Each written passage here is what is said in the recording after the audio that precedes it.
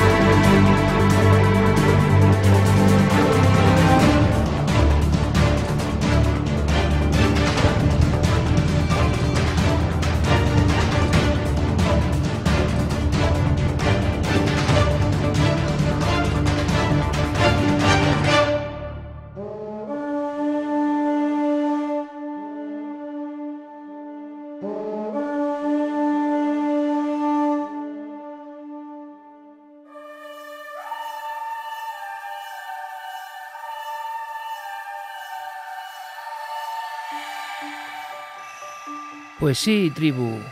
Buenas noches.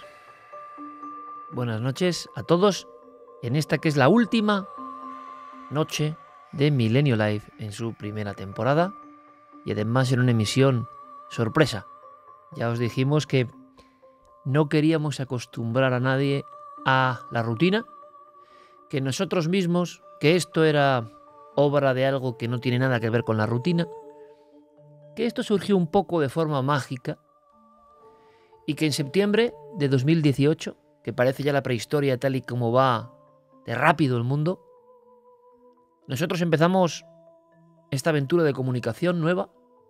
Y esta casa, buenas noches Carmen, Buenas noches, Iker. Buenas madrugadas. esta casa ha sido la casa de muchos.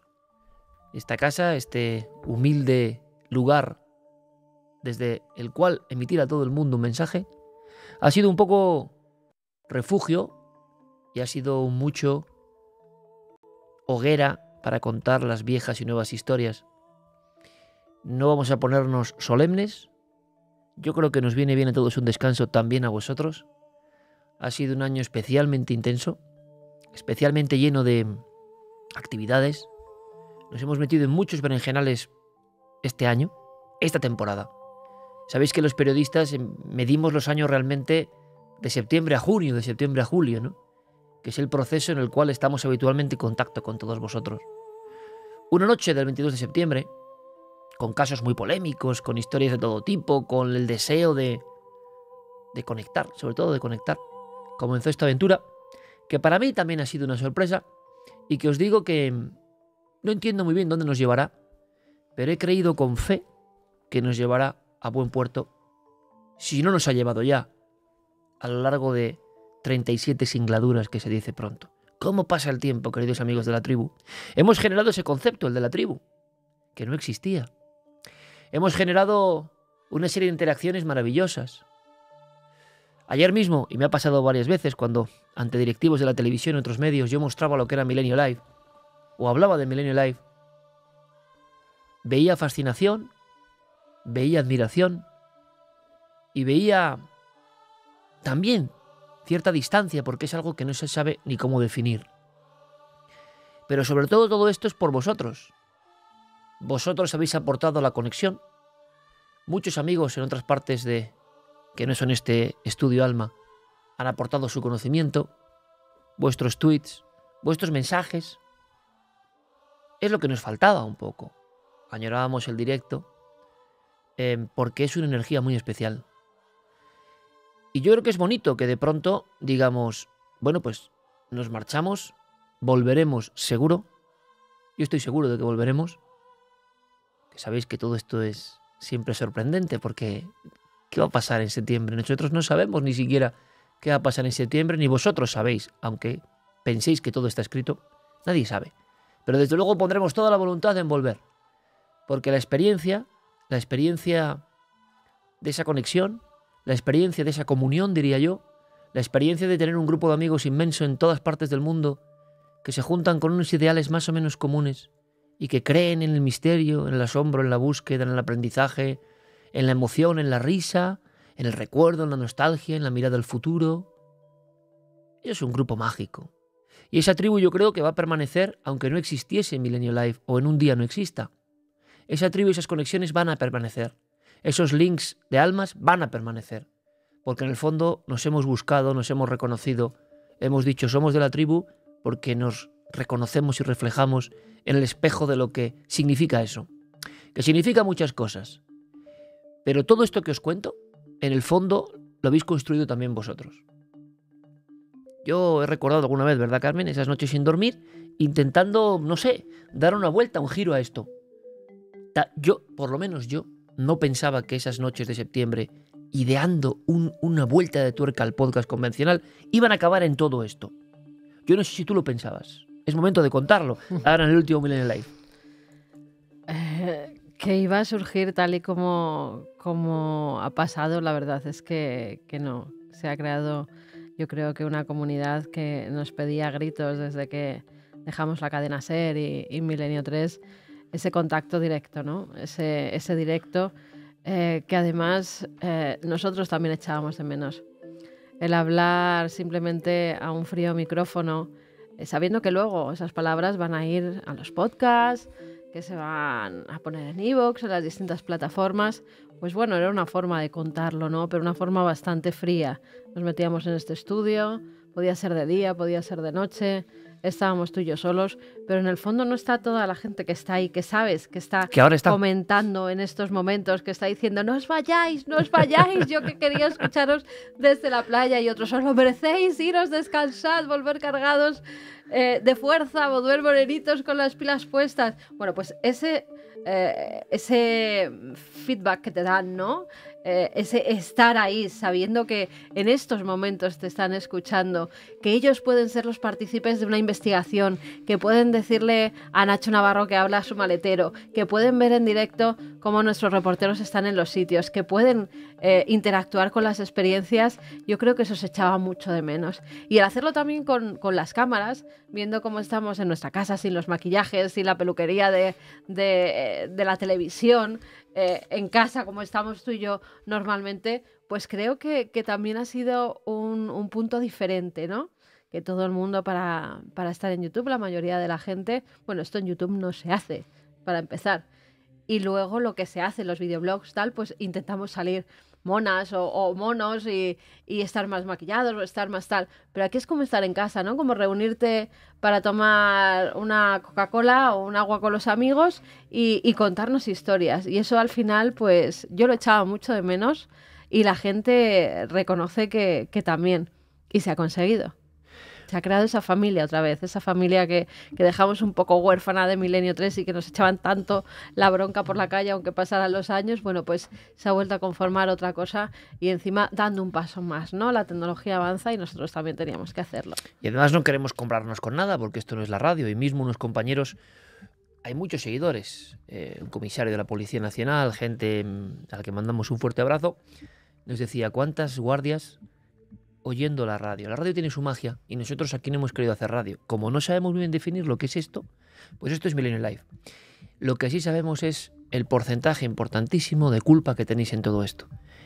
¿Hacia dónde nos llevará esto? Porque cuando uno empieza un barco, cuando uno va construyendo con sus maderas la proa de ese barco, cuando uno imagina el viaje, tampoco sabe muy bien eh, qué va a pasar en la travesía.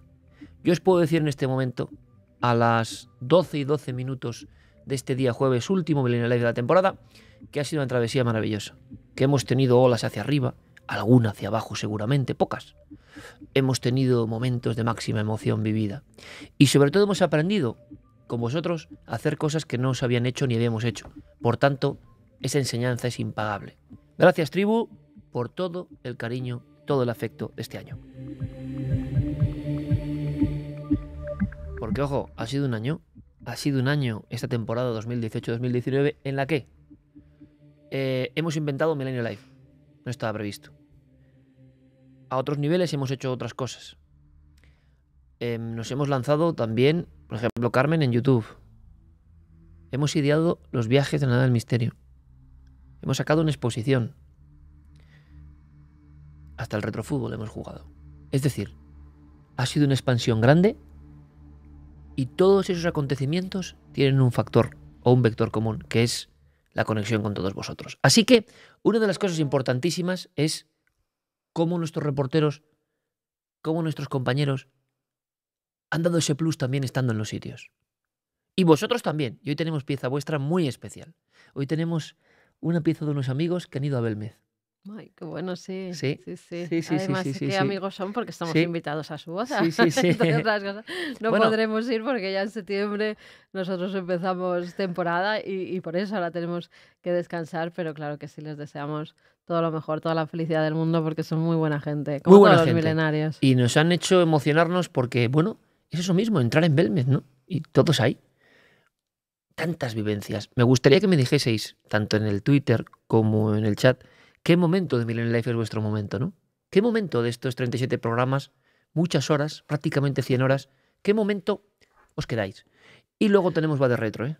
Y eso va a ser otra maravilla que nos hemos sacado ahí de la manga, que espero que disfrutéis con ella. ¿Qué dice nuestro público? Lo estoy ya conectando con nuestra compañera Natalia Monge, que nos va a hacer disfrutar seguro. Yo creo que de un entorno maravilloso para despedir la temporada. ¿Pero Pues qué dice el público milenario en este momento? Lucía Poza nos dice, qué penita, pero os merecéis un descanso. Eso sí, en septiembre aquí, a disfrutar, guapos. No os vayáis, porfa, dice Mamen Carrasco. Eva Guzmán dice, sois geniales, me habéis hecho compañía cada semana. Os espero en septiembre. Feliz verano. A Carmen le espero cada jueves. Besos desde Valencia. Eh, Iván dice, por fin la nena va a poder dormir tranquila. Eso, muchas risas, dice Nacho Otero. Eh, Estará Moon, feliz verano y Keri Carmen, saludos desde Toledo. Eh, yo me enteré más tarde que aquellos que escuchaba muchas madrugadas en la radio erais vosotros, dice Susi Bon. Gracias a vosotros por estos ratos tan buenos que pasamos. Con vosotros sois lo mejor, dice Cristina Casero. Eh, ahora que veo los viernes por la noche antes de dormir, dice Antonio Cuina. La próxima temporada será aún mejor. Amin López. Qué majos sois. Descansar, disfrutar que os lo merecéis y volver que os esperamos todos. Muchos besos, Bueno. tribu, dice Mar. Pues ahora un encargo. Luego iremos a, por supuesto, al escritorio, a Twitter. Un encargo importante, ¿eh? Ahí va de retro con muñecos. ¿eh? Ahí va de retro con muñecos. Es más, tengo un mensaje. Antes de hablar con Natalia, tengo un mensaje. Natalia está en un cementerio, por cierto. Bueno, me Buenas cuentan, noches, sí, en me- el cementerio. me cuentan que es el cementerio. No sé si me equivoco, pero me lo va a decir ella, donde está enterrado el gran Camilo José Cela, que alguien que creyese más en la Galicia mágica casi no lo había, y por algo eligió quizá ese sitio. Habrá que contarlo, pero ¿qué, qué enigma tiene ese cementerio? Hoy hablamos también de ancestralidad, de brujería, y lo vamos a hacer por algo. Pero mira, me han mandado un videomensaje así como... Pero es un vídeo en cinta, ¿eh? Cinta, cinta Betamax, no puede ser de otra forma. Cinta beta, muy de Alfon con un sobre. Lo he abierto, lo hemos volcado y em, vamos a ver, vamos a ver si lo tengo por aquí. Mira, es un mensaje avisando lo que viene después, ¿vale? Más o menos, creo yo, no lo sé. Mira lo que me he encontrado, Carmen. A ver. Mira lo que me he encontrado.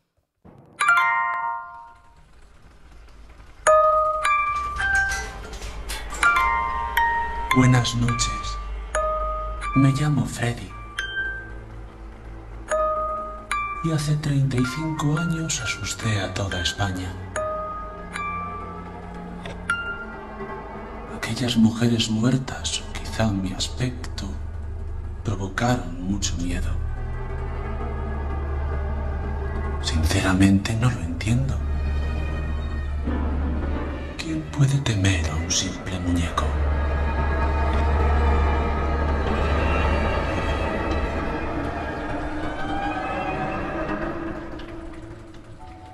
Bueno, pues toca ponerse serio, ¿eh?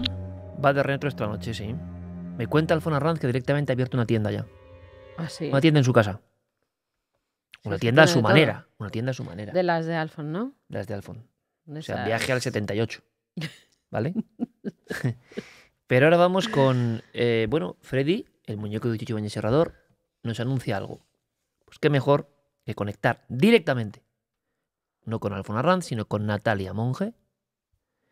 Vamos a ver cómo llega el sonido. Natalia, buenas noches, amiga. Hola, buenas noches, Iker. Buenas noches, Carmen. ¿Qué tal me oís? Perfecto. Bien, muy bien. Perfecto. Eh, buena luz, además, a pesar de estar en un camposanto. ¿eh? Eh, bueno, que te leo ahora mismo en el copy que nos envía siempre presto Diego Marañón. Natalia Monge, cementerio de Adina Padrón, a Coruña. ¿Por qué? ¿Por qué? Ahí. Natalia. Bueno, eh, es un lugar con muchísimas historias. eh, podríamos hablar durante horas del origen de, de la relación del apóstol Santiago, por ejemplo, con Galicia, que está aquí. Eh, pero tal vez lo que a mí más me ha llamado la atención en entrevistas que he hecho a personas mayores de esta zona y de los alrededores ha sido una historia eh, completamente extraordinaria dentro de lo que conocemos dentro de las historias del mal de ojo y de la brujería de Galicia. Eh, una historia que se desarrolla aquí, un ritual muy extraño que se desarrolla aquí con unos sepulcros de origen desconocido. Oye, has ido a decir mal de ojo y empiezan los perros a ladrar. Bueno, ya sabéis que aquí se dice que cuando ladra un perro está anunciando la muerte. ¿Qué O sea dices? que- sí, bueno, sí, muchas es, muertes entonces. Lo que pasa es que si alguien ve el vídeo ahora mismo, Natalia, esto es la magia de este programa. Bueno, Natalia hizo hace tres semanas o por ahí una conexión en el campo de la Santa Compaña de alguna manera y me encantó porque Natalia Monge es una gran periodista, pero no ha vivido la experiencia del Milenio Live, es decir, no lo había vivido. Y es una mezcla, ¿verdad, Natalia? Es una mezcla que te lleva, que te mueve cosas. Los lugares no son iguales, eh, todo cambia. Y luego la energía de la gente. Has dicho mal de ojo, que ahora lo bonito de YouTube es que alguien puede... re- Y cuando dices mal de ojo, ese perro que debe estar por ahí eh, nos habla a su manera, ¿no? Bueno, por supuesto es... ¿Ves? Una exageración, pero ¿en qué sentido? Nos metemos ya en la esfera esa de la brujería y el rito que hemos estado indagando últimamente. Estás en la verja, estás en la entrada. Ese perro parece humanizado, hay un momento en que parece Sí, que sí, habla. parece que está hablando. Natalia, ¿ese perro lo ves?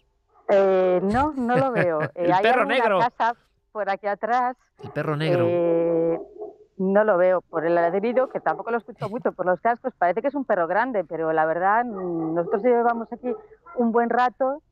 Aquí no ladraba nada y ha sido empezar a grabar y de pronto, pues. ya No, no, no ha sido empezar a grabar, Natalia. has dicho- Cuando he dicho mal de ojo.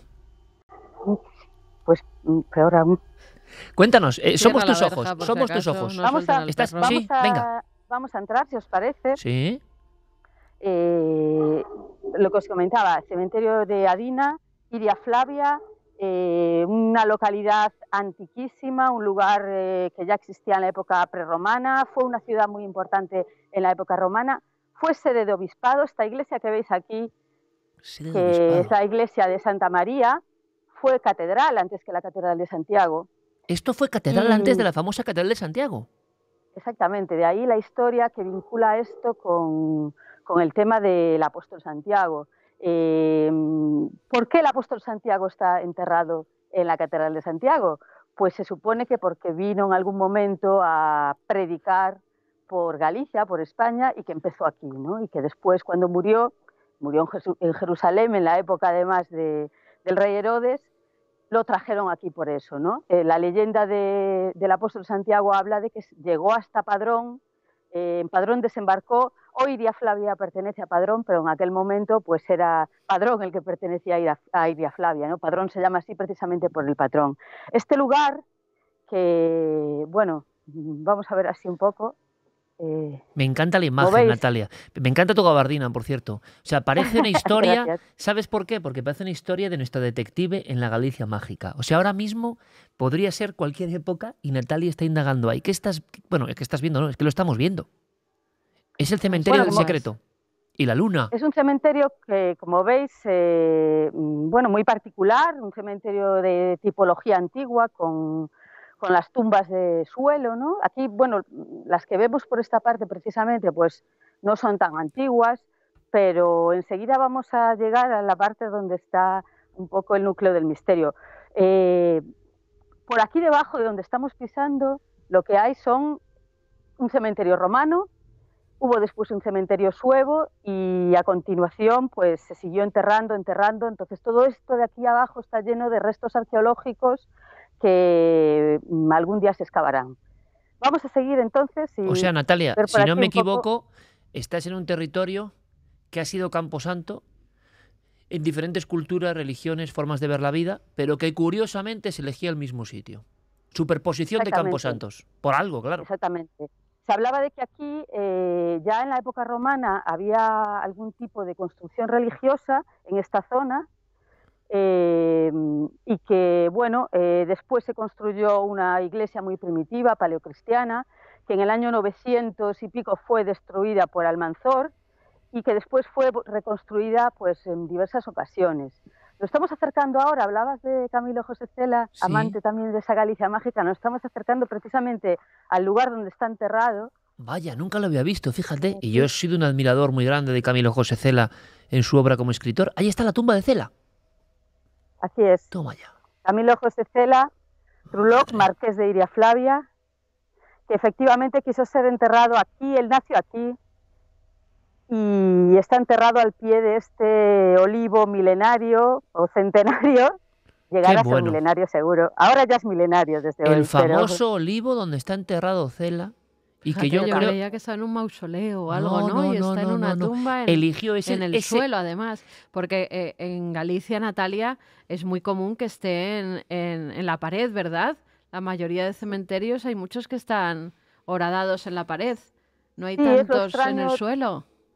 Es lo extraño de este cementerio también, que no hay ninguna tumba, no hay nichos, están el, el espacio está aprovechado hacia abajo, eh, ¿no? Está, estamos pisando aquí sobre capas y capas de muertos de la historia, pero no se ha aprovechado el espacio en vertical. Entonces conserva ese, ese aire, a pesar de que está, bueno, como veis hay bastante luz porque hay focos, está no está en un lugar tampoco especialmente aislado, pero conserva ese, sí, ese pozo de cementerio antiguo, ¿no? La verdad está es que, bueno, ese cela, Natalia, que con su, por ejemplo, madera de boj, eh, sus obras finales, se refería a, esas, a esa Galicia de la Costa da Morte, de la tradición, la bruja, el aparecido, el ensotanado, la santa compaña, pero es que Camilo José Cela nunca dejó eh, de lado esa Galicia, siempre hablaba, ¿no? Bueno, dicen, yo no lo sé, ¿eh, Natalia, pero dicen que murió diciendo viva Iria Flavia. Que eso dicen, eso dicen ¿verdad? yo no lo sé si será así o no, pero desde luego me entra dentro del mito Camilo José Cela, que para mí, en mi opinión, tiene algunos de los libros de viajes, en mi opinión, más impresionantes de la literatura.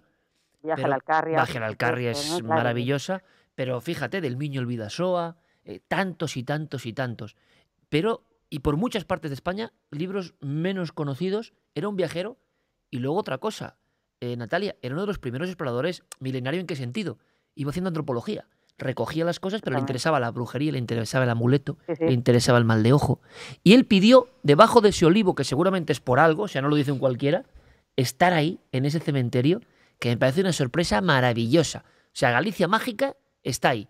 Pero nos cuentas, Natalia, que lo que nos quieres mostrar especialmente es un extraño rito. Está por aquí. Bueno, antes quería que vieseis un poco eh, todo este entorno, que no sé si lo hemos enfocado antes, de hay muchísimas flores, ¿eh? tumbas abigarradas, están muy juntas, ¿no? Mm. Eso decíamos, se ha, aprovechado el espacio. Pero a ver, voy a encender la linterna, no sé si se ve muy bien, pero bueno, perfecto. es que es que hasta lo, hasta el horizonte, ¿no? Se pierde toda esa imagen de tumbas superpuestas, abigarradas, esto es, bueno, y super floridas, ¿no? Es un lugar exacto, con mucho culto, ¿verdad? Con mucho culto.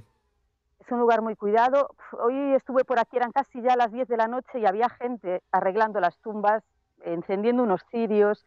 Se ve que es un lugar, pues eso, muy querido todavía, donde hay eh, eh, mucho culto, ¿no? Desde hace muchísimos años.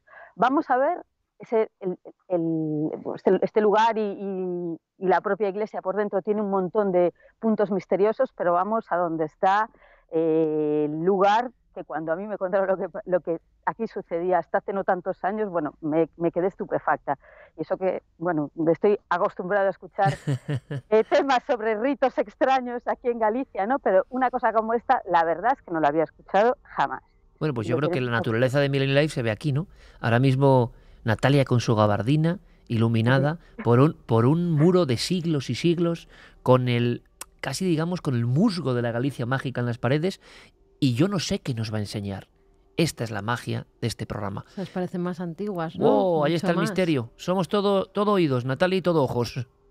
Bien, mirad esto, como veis, que son tumbas sin nombre, tumbas antiquísimas.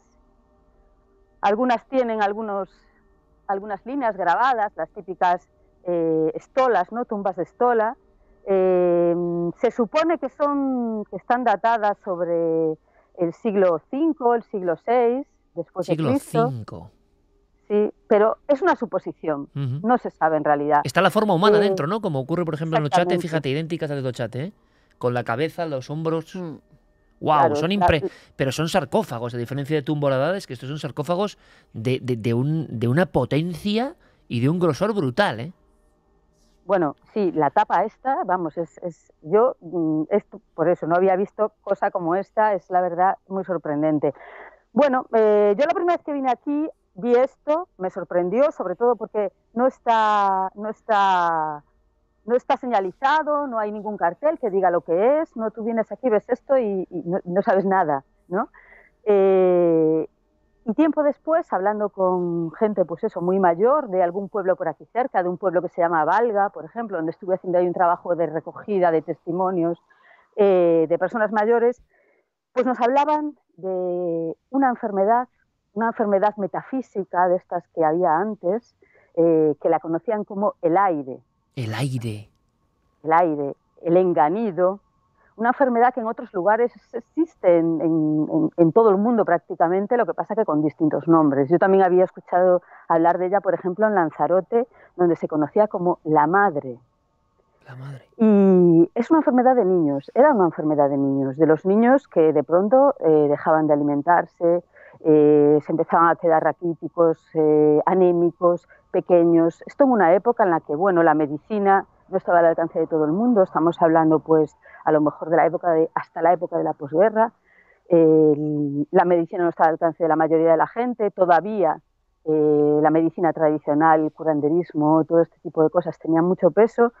Y además había unas cifras de mortandad infantil relacionadas con enfermedades gastrointestinales, gastrointestinales por ejemplo, elevadísimas.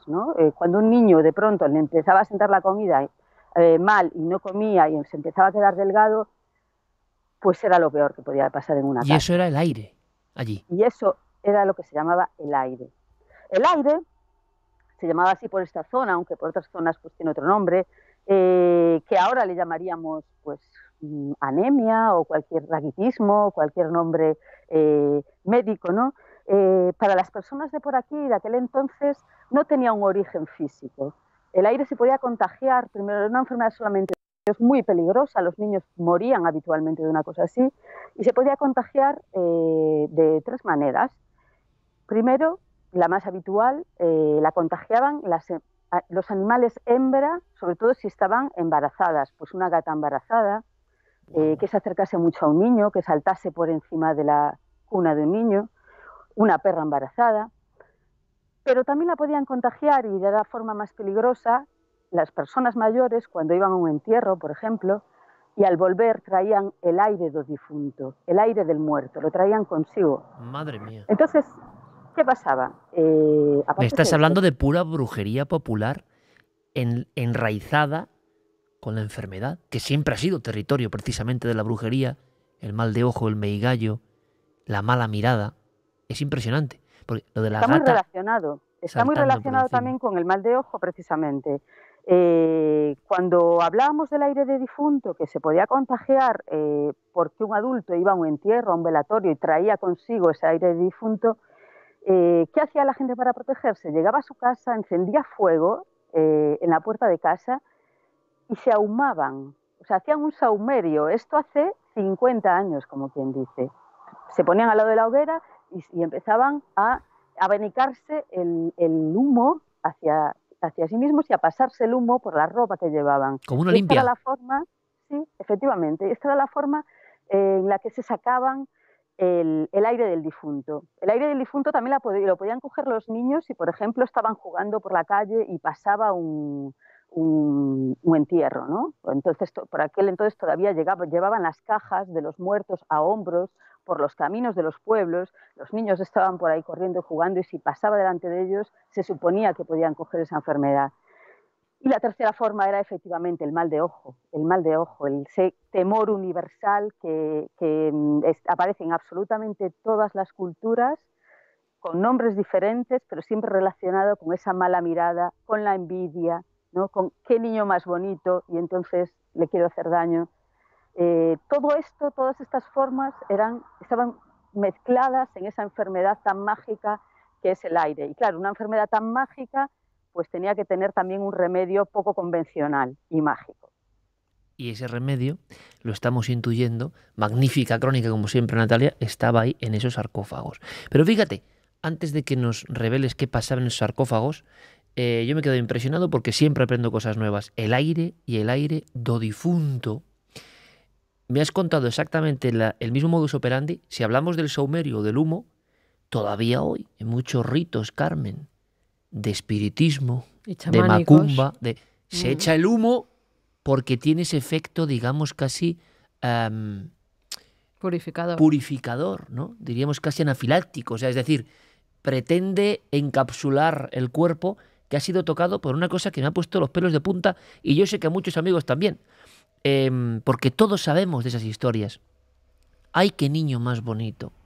La envidia, el mal de ojo, la anciana malvada, todos esos códigos de la brujería están exactamente en lo que acaba de contar Natalia. Es más, En Perú, en Bolivia, yo tengo algunos tratados, fíjate qué imagen de las tumbas, fíjate las formas, algunas son de niños, es impresionante.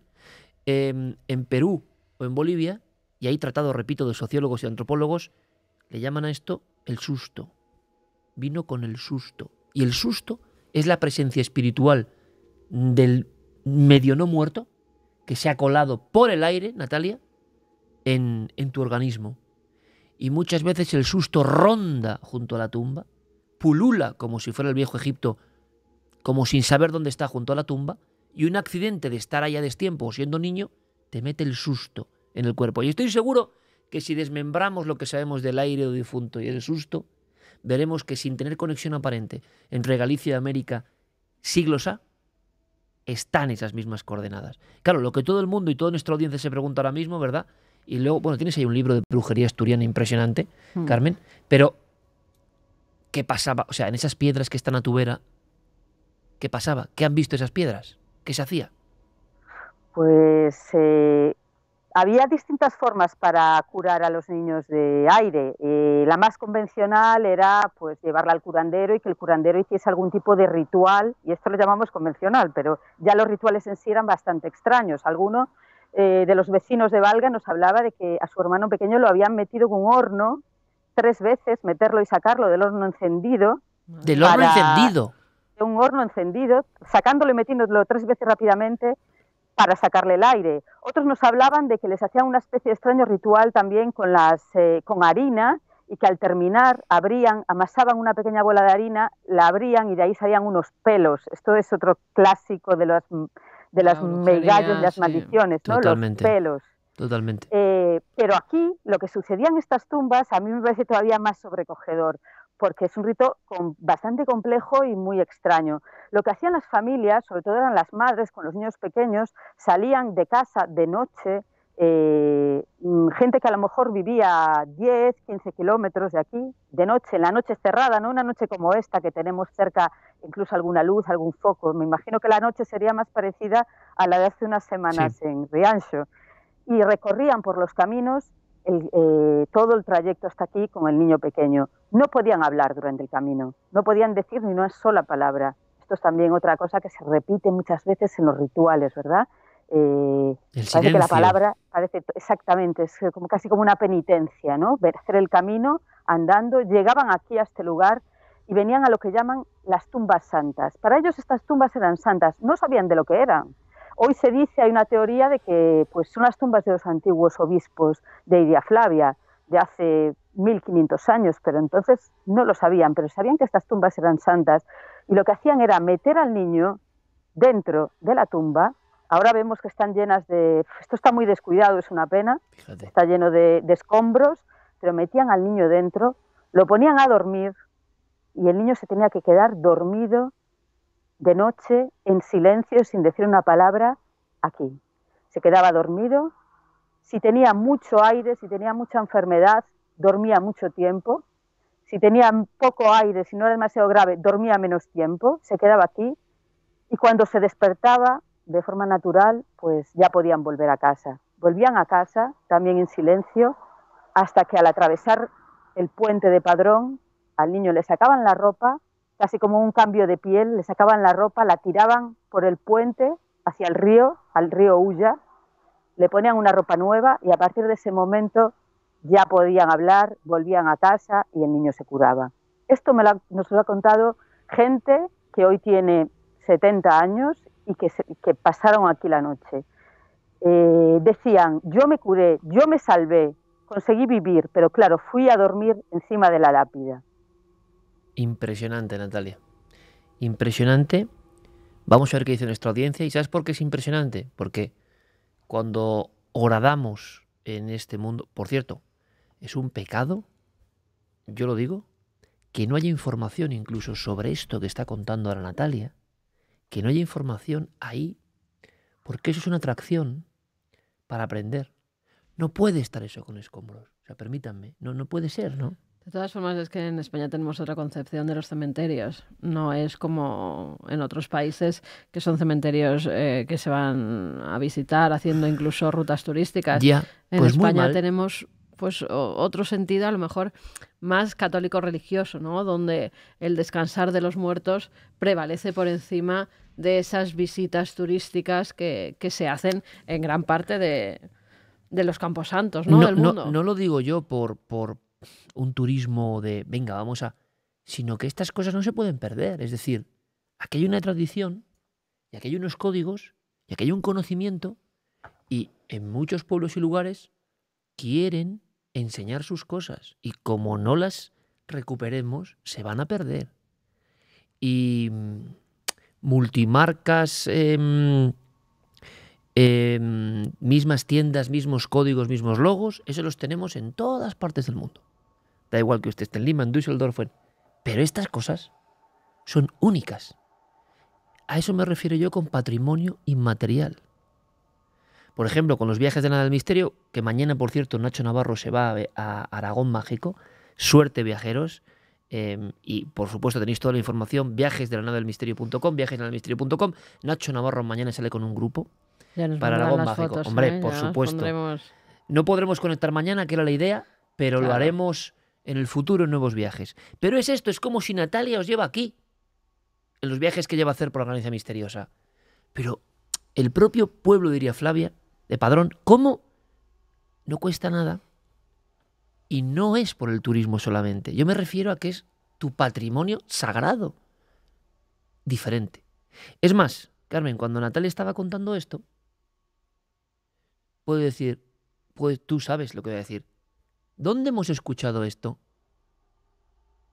En el subsuelo de Cádiz, hace 3.000 años, los enfermos iban a soñar en el sarcófago para curarse.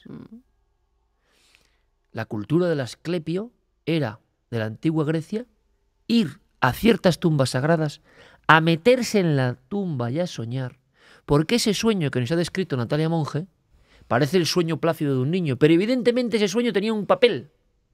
El niño quizá no podía contar ese papel porque era demasiado pequeño. Dice la cultura antigua, prerromana, griega, fenicia, que en el sueño llega el Dios que cura, el ente que cura. Se traduce en un diálogo entre el durmiente y el agente curador. Y en cierto momento de la historia, amiga Natalia, ese código se pierde en algún momento, quizá con Roma, se pierde.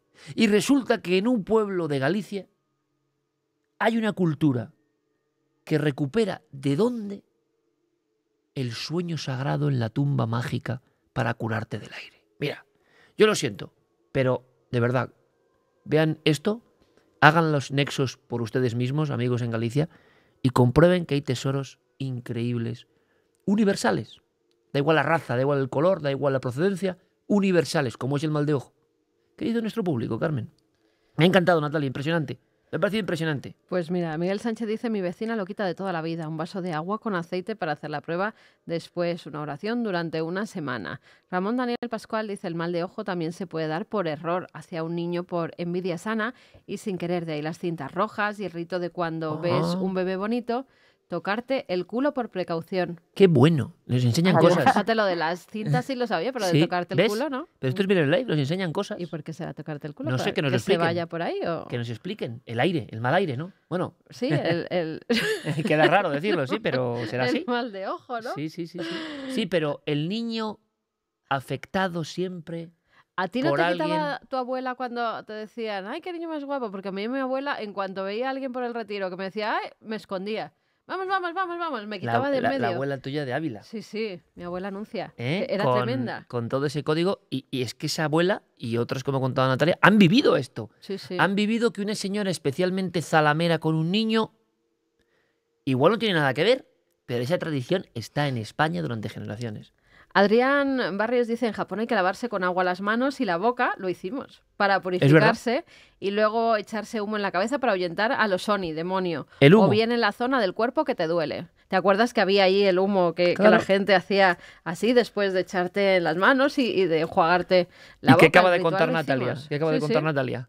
El humo en esa Galicia mágica, en la posguerra y antes y seguramente después.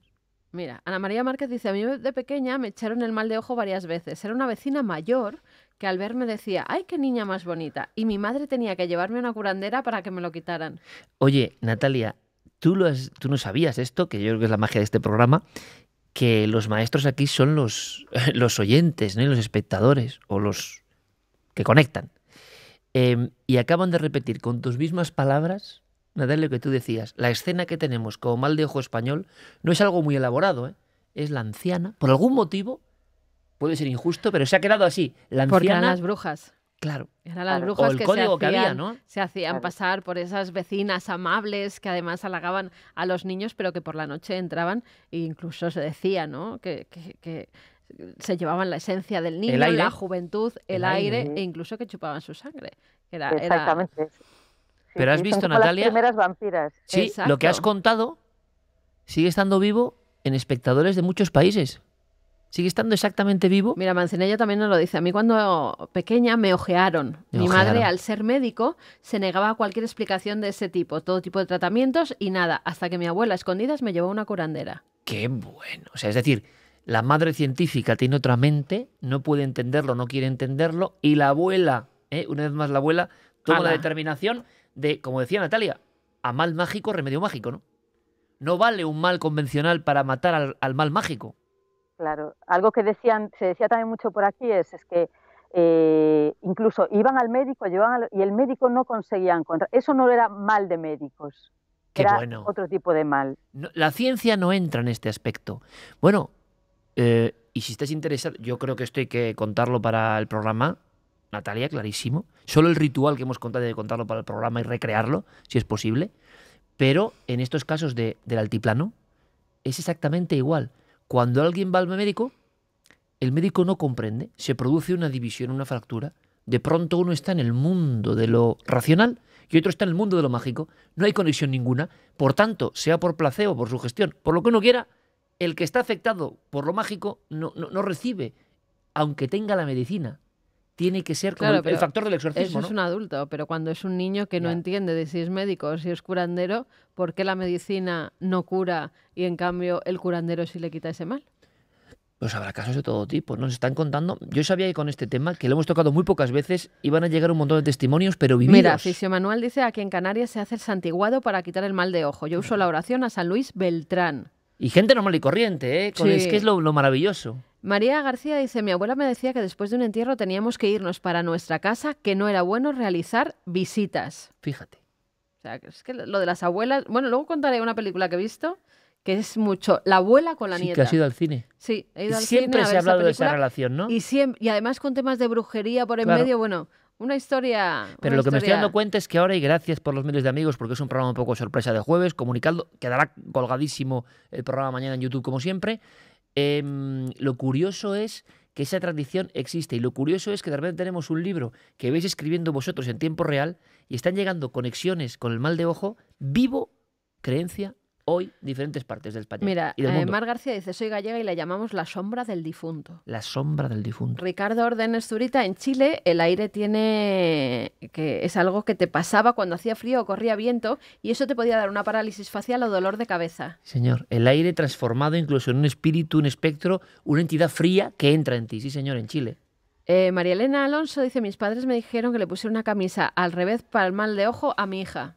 Camisa al revés, eso yo lo había escuchado también. Sí, sí. Es brutal. Y los amuletos, esos que hay en plata con seres como mitológicos, ¿no? Que se ponía antiguamente a los niños y sobre todo en la realeza. Todos los príncipes, todos los de la corte tenían Es que, esos, esos amuletos y también la cinta roja, ¿eh? por supuestísimo. José López, mi abuelo no me deja abrir las ventanas de su coche porque a su primo le dio un aire por culpa de la ventana del coche y quedó con media cara inválida. Hoy en día yo lo identifico con un ictus. Darle Pero un aire. le dio es que se sigue diciendo, te va a dar un aire. Sí. Bueno, eh, una cosa, Natalia, ahora nos explicas más cosas de ese cementerio, de esa iglesia. Me parece maravilloso, pero, pero fijaos, se podría decir lo siguiente, muy atentos a la pantalla, por favor.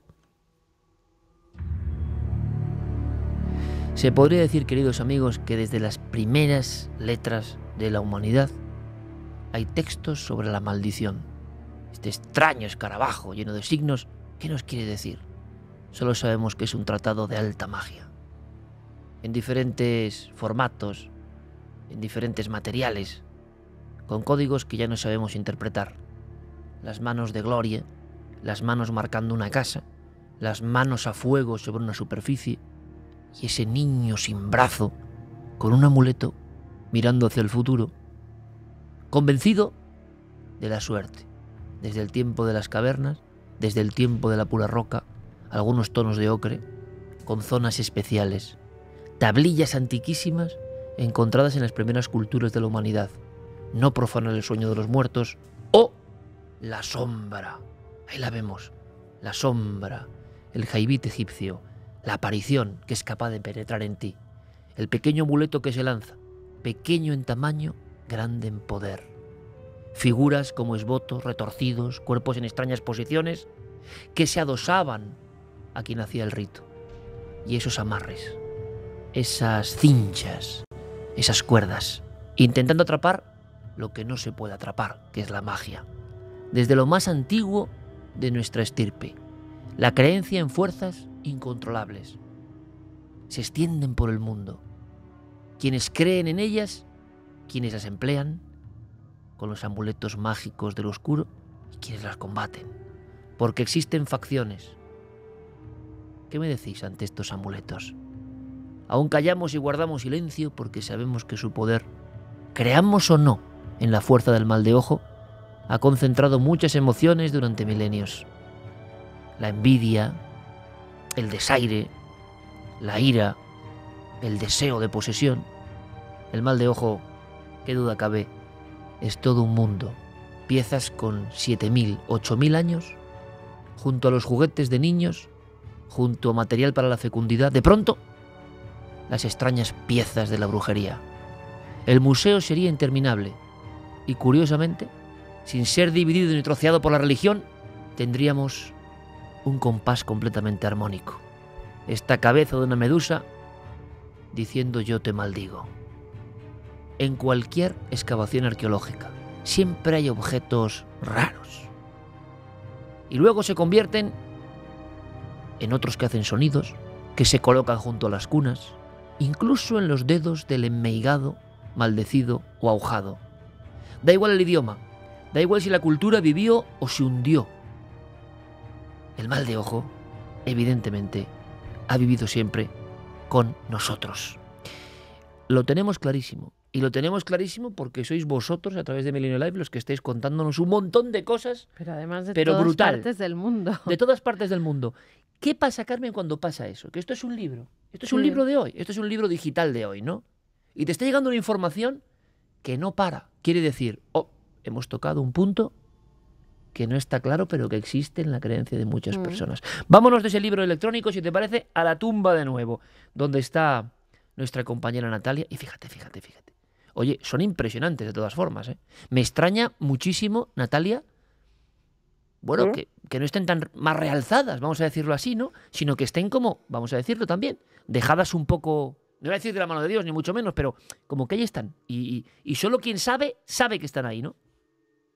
Y es muy difícil encontrar información, incluso aunque sepas. La verdad es que eh, a mí me parece sorprendente también. Mm, además, son muchas, no solo esta primera línea. Que a ver, a ver, a ver, a ver. Estas son las mejor conservadas. Ah, es que no hay solo una línea, hay más. Tenemos, sí, hay aquí otra línea que están, bueno, son más pequeñas. Vemos también con esa forma el sarcófago antropomorfo, ¿no? Más es pequeñas. Brutal. Pero es que son de primer eh, muy nivel. Estrechas un tamaño que decimos, bueno, pero aquí puede caber, no sé, son como muy, muy estrechas. Bueno, bueno, eso es de un niño, Natalia. No puede ser otra cosa, ¿no? La verdad es que por el tamaño, pues así tiene que ser, ¿no? Y, e incluso encontramos otra línea más por aquí, que ya son solamente las, las lápidas con cruces ¿Sabes lo difícil? Sí, sí. Ahora me cuentas porque ahí están con signos, ¿eh? Pero tú sabes lo difícil que es, y yo he recorrido, y Carmen también, mucha tumba antropomorfa sobre, antropomórfica, sobre todo en el norte de España, lo difícil que es que conserven la tapa. Mm. Yo no sé si el clima es algo que las ha conservado ahí en el tiempo. Sí, es curioso porque em, aquí precisamente la piedra también se deshace mucho en Galicia porque el suelo es muy ácido, no se suelen conservar. Eh, estas lápidas y tumbas parece ser que fueron redescubiertas en los años 90, pero la sabiduría popular sabía que estaban por aquí, de hecho habían estado eh, a la luz ya pues en esta época en la que hablamos, que la gente venía a hacer aquí este ritual sobre los años 40, eh, 50, hasta entonces estuvieron algunas de ellas por lo menos a la luz. Luego se perdieron, se olvidaron y debieron quedar cubiertas.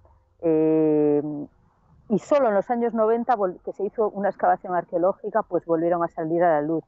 Eh, los arqueólogos están seguros de que aquí sí se sigue excavando y queda todavía delante de la iglesia un, un atrio bastante grande sin excavar. Van a encontrar más cosas extrañas, más cosas de estas y bueno, pues a lo mejor incluso alguna respuesta, ¿no? Que nos diga quién estaba aquí. Porque sí, algunas de las lápidas tienen símbolos, como vemos aquí, muy se puede, gastados. ¿Se puede leer algo? Nada, ¿no? O sea, no hay escritura no, ni hay nada. No hay letras, no hay letras. Eh, hay una cruz, como veis aquí. Eh, también es curioso porque la, las veremos después en la, en la propia piedra de, del muro de la iglesia. Parece hay cruz templaria, ¿no? Casi. Templarias, efectivamente. Eh, se dice que este fue el primer eh, templo mariano del mundo. Eh, aquí, el templo anterior que estuvo fue el primer templo mariano del mundo. Eh, los templarios y su vinculación con el Camino de Santiago también, Totalmente. ¿no? Como protectores del Camino de Santiago. eh, y este es un lugar importantísimo dentro de- del culto de Santiago. Entonces, pudiera ser. Luego veremos las cruces que hay por la pared, que son claramente cru- cruces templarias, y hay 13. Y después aquí, pues, eh, hay unos símbolos que yo, la verdad, mm, no los veo muy bien, no sé lo que son, ¿no? O sea, hay Parecen como dos cabezas o... Sí, unidas por aquí. y- Eso me parece, me recuerda, sí, a, los dos gemelos o, o dos figuras. Por cierto, igual no tiene nada que ver porque los templarios son muy posteriores, evidentemente, a lo que es la lápida en sí. Sí. Pero un- esa cruz parece hecha con idea de que sea como templaria y las dos figuras casi casi te parecen al, al doble caballero que iba encima del, del- del caballo templario, ¿no? Pero desde luego, evidentemente estos lugares fueron reutilizados segurísimo. Quien hizo esa cruz parece más bien exactamente como estáis viendo la, luz la cruz templaria, no la cruz habitual.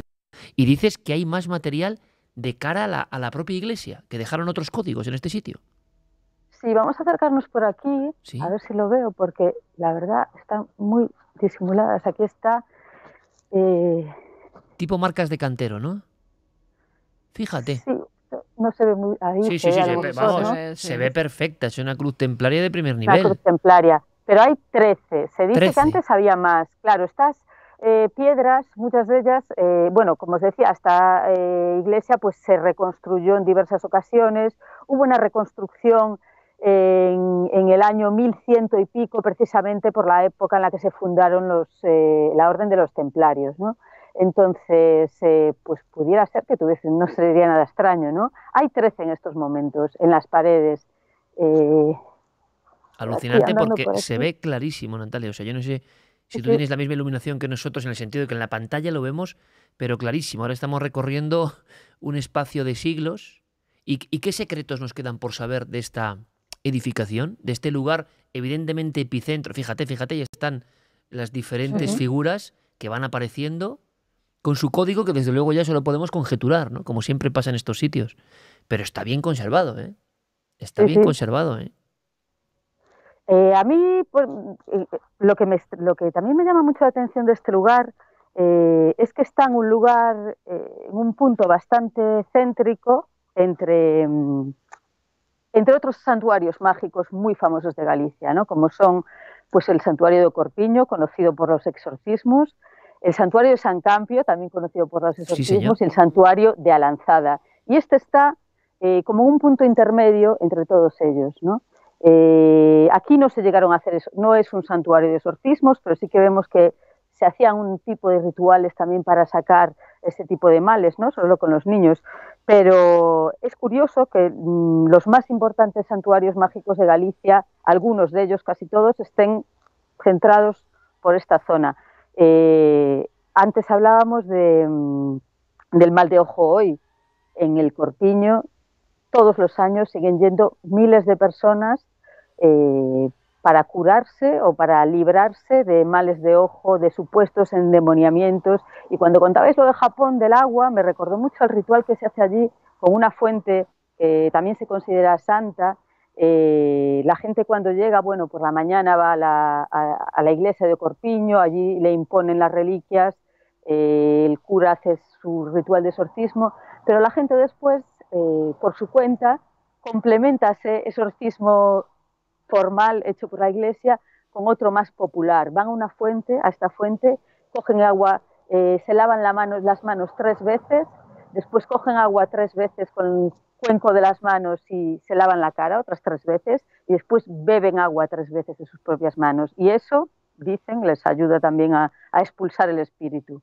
Bueno, es más, es el corpiño, es una de estas tradiciones, Carmen, donde se meten dentro de un ataúd también, ¿no? Mm. Hay una tradición donde los niños son metidos han en- pasado en, una en algún lugar. muy grave y han sobrevivido, eh, a veces incluso tenían eh, ya el ataúd para porque porque mm, los médicos eh, les daban eh, nada pocos días de vida y lograron sobrevivir después de estar en el templo y hacen esa procesión donde van los vivos en esos ataúdes que, que tenían que haber sido utilizados por su cuerpo muerto. que en zonas como Sicilia u otras en Italia se repite También. de otra manera esa especie de danza con la muerte, pero con un deseo, que es agradecimiento por un lado, y por otro, nos hemos salvado del mal de ojo.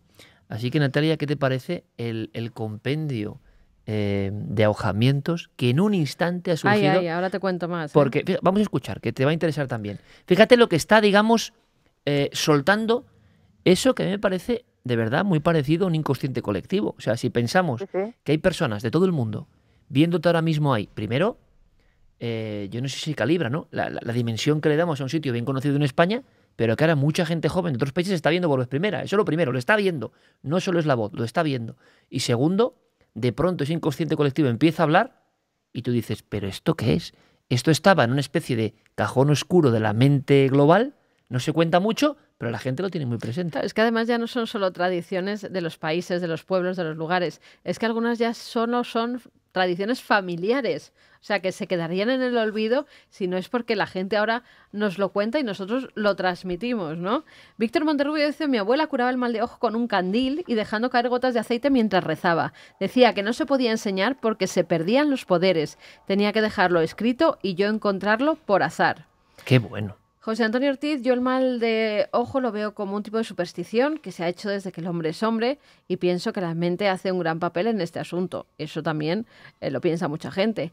María José Bortán dice, mi vecino me dijo que pusiera unas tijeras abiertas en la cabecera de la cuna de mi hija para el mal de ojo. Cabecera de cuna con tijeras abiertas. Raquel Arriaga, en Grecia cuando te dicen un piropo o algo bonito, simulan escupir con ruido y gesto para cortar el mal de ojo. La persona a la que le han hecho el piropo. Claro. Wow, como diciendo, ojo, Como diciendo, ojo, ¿no? O Ya. sea, el, el- el ruido de... Qué y, bueno. y escupirlo. Creo que quiere decir. Esto es una Eso, bueno, pues enciclopedia. tenemos ami- amigos griegos, Sí, se lo voy a esto preguntar. es una enciclopedia. Sí. Mamá Ilustra dice, la primera persona que pasara le pedía el cura que fuera el padrino. Así lo hizo y mi padrino vivió. Siempre lo contaban. Curiosidades, coincidencias, felices vacaciones, nave del misterio. Aquí en Uruguay, dice Claudia, a los bebés se les ponen cintas rojas y medallas con un alfiler en su ropa. En China ponían pequeños espejos en las ventanas y vestían a los niños de niñas hasta los 5 años para que los demonios no encontraran a los niños varones porque se morían más que las niñas. Nos lo decía Wiznea Melka. Maravilloso. El tema de Hasta los cinco las años. cintas rojas, lo he contado hace poco, no sé dónde, pero lo he contado. Eh, en Cuenca, por ejemplo, existe ese Sí, lugar con un museo. sinfín de, de sonajeros y te El das museo. cuenta en un momento dado que están los sonajeros amuleto, los sonajeros protectores, los cascabeles colocados para... E incluso hay muchos investigadores que creen que la figura del atrapasueños que se ha puesto de moda Sí. como algo naif, que uno regala al niño, el niño juega y queda muy bonito y genial, viene de un tipo de amuleto con cintas que en el fondo lo que te decía es no atrapasueños, sino protege esta cuna, protege a este niño. Merche Melero dice un lazo azul con una mano chiquitita que haga los dedos una cruz. Mi madre me cuenta que a ella la llevaban a la curandera cuando pequeña y le pasaban laureles y humo por la cara. Esto en Chile en el año 1965. Fíjate qué bueno. Nos dice JVG. Eh, mm, tijeras abiertas en la puerta de casa para cortar los males de ojo, que no entren las malas energías en casa y una escoba al revés. Zara Leire. La escoba al revés era para que se fueran las visitas, ¿no? Pronto. O eso, Eso no lo mi- sabía yo. A mi abuela lo decía. Eh, Tu abuela era una experta. Que vienen muy pesados. Ponle la, la ¿En escoba al revés. a- Sí, Madre sí, mía, sí, sí, sí, para que así, así Qué se bueno. largaran pronto. No era como darles el descobazo. Sí, pero son códigos que sin tiempo de internet, sin redes sociales, sin comunicación ninguna, iban de sitio a sitio porque debían ser o tener cierta efectividad, ¿no? Claro. Mar Guerra dice, me pongo a rezar y si bostezo la persona tiene mal de ojo, no falla. Natalia, aquí lo curioso es que hay que andar con mucho ojo porque hay muchas leyes que no conocemos y que tú estás en un lugar de la Galicia mágica donde todo eso bullía. Yo no sé hasta qué punto. Tú has dicho una cosa muy interesante para finalizar esta crónica que nos has hecho. Me ha encantado el sitio, me ha encantado la fuerza que tiene. Sabes que hablábamos en la otra conexión de la posibilidad de que la luz eléctrica matase a la Santa Compañía. Esa, esa analogía, esa metáfora nos da la impresión de que esconde muchos códigos. En la Galicia de hoy, ¿estará esto muy escondido? Solo familiarmente se habla de ello, como está pasando ahora, que parece que hay una vía de escape y el público lo lanza, pero oficialmente se habla poco. Tú hablas de una barrera quizá de los años 50, o sea, pasa algo. Quizá tiene que ver con la industrialización, quizá tiene que ver con la entrada de, de una época de, de, cierta mejora de los desastres de la guerra, pero también hay una pérdida de códigos que se mantenían desde hace siglos. Estamos en esa franja, ¿no? Claro. Exacto. exacto. Eso ocurrió. ¿En qué momento se fractura esa, esa, esa zona mágica respecto a ese lugar donde estás ahora mismo? Eh, las últimas personas que nos contaron mm, que habían visto estos rituales hablan de aquí en los años 50, 60. Ahora, la creencia en el mal de ojo sigue, sigue viva, no la ha cortado la luz eléctrica. Eh, incluso creencias tan curiosas eh, que nos han contado como que las, los animales también pueden echar mal de ojo. Por ejemplo, nos hablaron de una vaca que había echado mal de ojo a un niño por celos, por envidia, lo cual ya es alucinante, ¿no? la vaca es el animal de ese mundo. totémico de Galicia, ¿no? La vaca es un animal eh, que las familias, bueno, pues se le tenía, se le cuidaba, es el único animal al que se le ponía nombre, a los cerdos y a las gallinas no se les ponía nombre, a las vacas sí. Pues la vaca, eh, había miedo de que las vacas también eh, echasen el mal de ojo a los niños por envidia, ¿no? Habíase eh, motivación de la envidia y luego tenemos la otra motivación que es la más terrible, ¿no? la que puede además tener consecuencias, según, según creía la gente, más, graves, que es la de la brujería, ¿no? ya no solo la mera envidia, sino algo más. Una cosa que también está cala muchísimo, ya no solo en Galicia, yo lo he escuchado también en otros lugares, es esa idea que alguien lo comentaba antes en uno de los comentarios, eh, de que hay gente que echa el mal de ojo sin querer, sin querer. que tiene la mirada fuerte, es la mirada fuerte.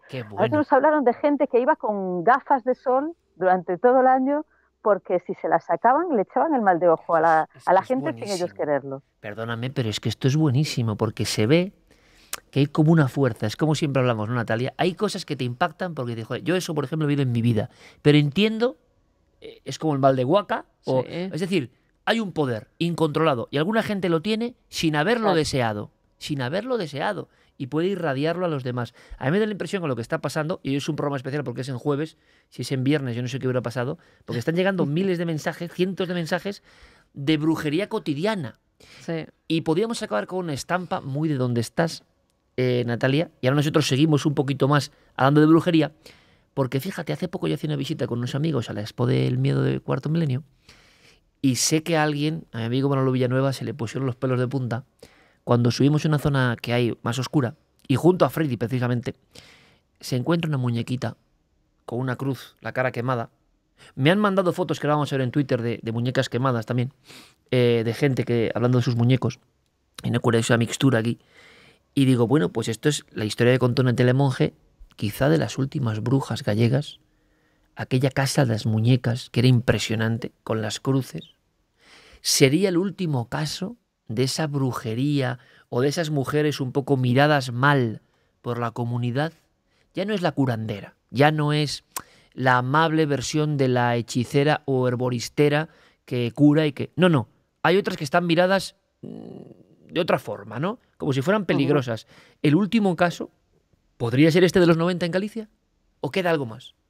Se considera como último caso de la bruja, pues como tú has dicho, marginada, ¿no? Apartada. Eh, mm, no tiene nada que ver con la meiga, ¿no? Con esa, esa meiga que, bueno, que puede ser aliada en un momento dado. Yo tampoco pondría la mano del fuego, o sea, son las mismas que conocemos. Eh, aquí sigue habiendo muchísima magia en pueblos muy remotos, en esa zona del en la frontera con Portugal, por ejemplo, sobre todo en la zona de Urense, ¿no? Eh, es en Ourense, haciendo también un poco de recapitulación, es donde hemos encontrado, por ejemplo, algunas de las historias más mágicas que hemos hecho desde Galicia con Cuarto Milenio, ¿no? Es posible que haya algún caso más, desde luego, eh, no vamos a parar de buscarlo. Oye, Natalia, buenas noches, ¿de acuerdo? Me ha encantado y te voy a decir una cosa. El perro ese no ha vuelto a ladrar, ¿no? Hasta ahora. Mm, O no sea, sé si decir. Fue Natalia cuando dijo mal de ojo y luego me estaba Sí. contando de que los animales.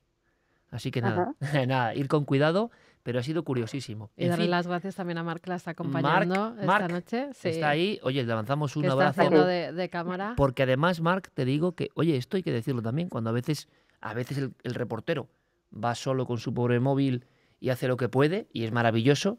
Y en ocasiones tenemos con Marisa, con Gonzalo, tenemos a Marc con Natalia, que le agradecemos un montón, porque primero la iluminación, la posibilidad de verlo como lo hemos visto, te juro que parecía, Natalia, una, una película, no sé, eh, de los años 70, tú de detective con la gabardina avanzando por ese muro, a mí me ha encantado. Y mostrándonos de pronto esas tumbas antiquísimas.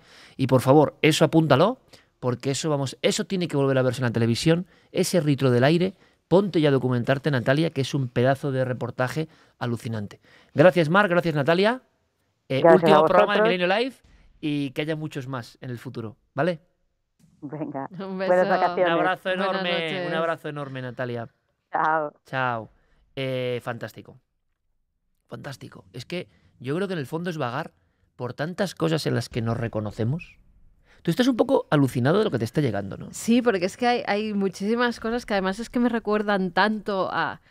Yo, Sobre todo a la fíjate, abuela, ¿eh? no, tenía, no tenía constancia de que mi abuela fuera tan mágica hasta años Claro, después. claro, de claro. todas las cosas que, Claro. que hacía, de verdad. O sea, todas las Te la están, supersticiones. re- todas te la están eh, Sí, porque re- además hay otras abuelas que hacían lo mismo. O sea, Claro. lo de lo de la, la escoba puesta detrás de la puerta es que lo hacía muchas abuelas, Qué mucha bueno, gente yo eso no lo he oído ante nunca. las visitas que fueran pesadas. Pues sí, Yo eso sí, lo he oído sí, nunca. Se ponía, la verdad Oye, que mira, sí. mira esto, a ver qué me cuentas, ¿vale? Te voy, a, te voy a contar unos cuantos más. ¿eh? Genial, pues Porque hazlo. me parecen súper interesantes las cosas que nos, ¿Has ido a ver una peli? que nos dicen. Sí, ¿Cómo se llama la peli?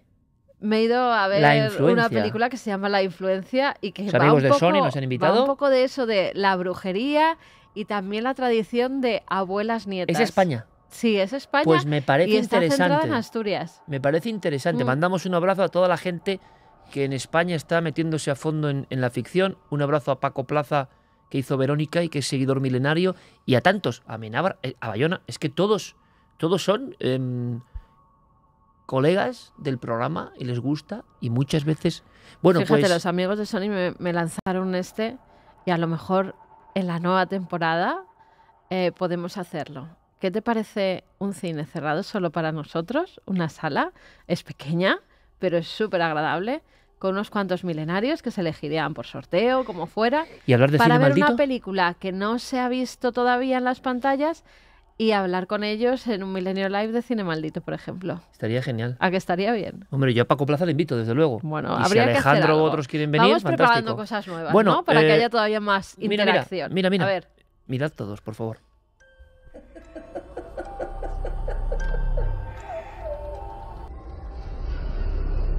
Mamá, te vas a morir como papá. Eso es lo que te gustaría, ¿verdad, cerdita? Los últimos meses fueron horribles. Lloraba y gemía sin parar. Solamente hablaba de la muerte. Y hacía sonar esa maldita campanita como una loca. ¿Qué quieres, abuelita? ¿Por qué me has llamado?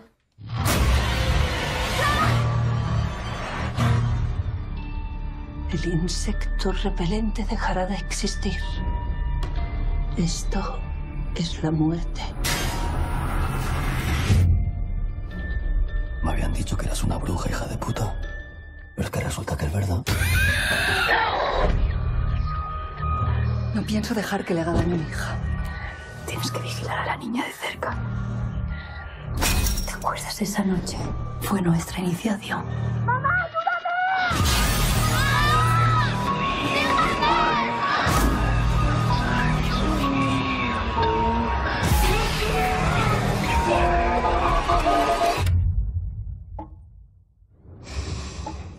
Abrid los ojos.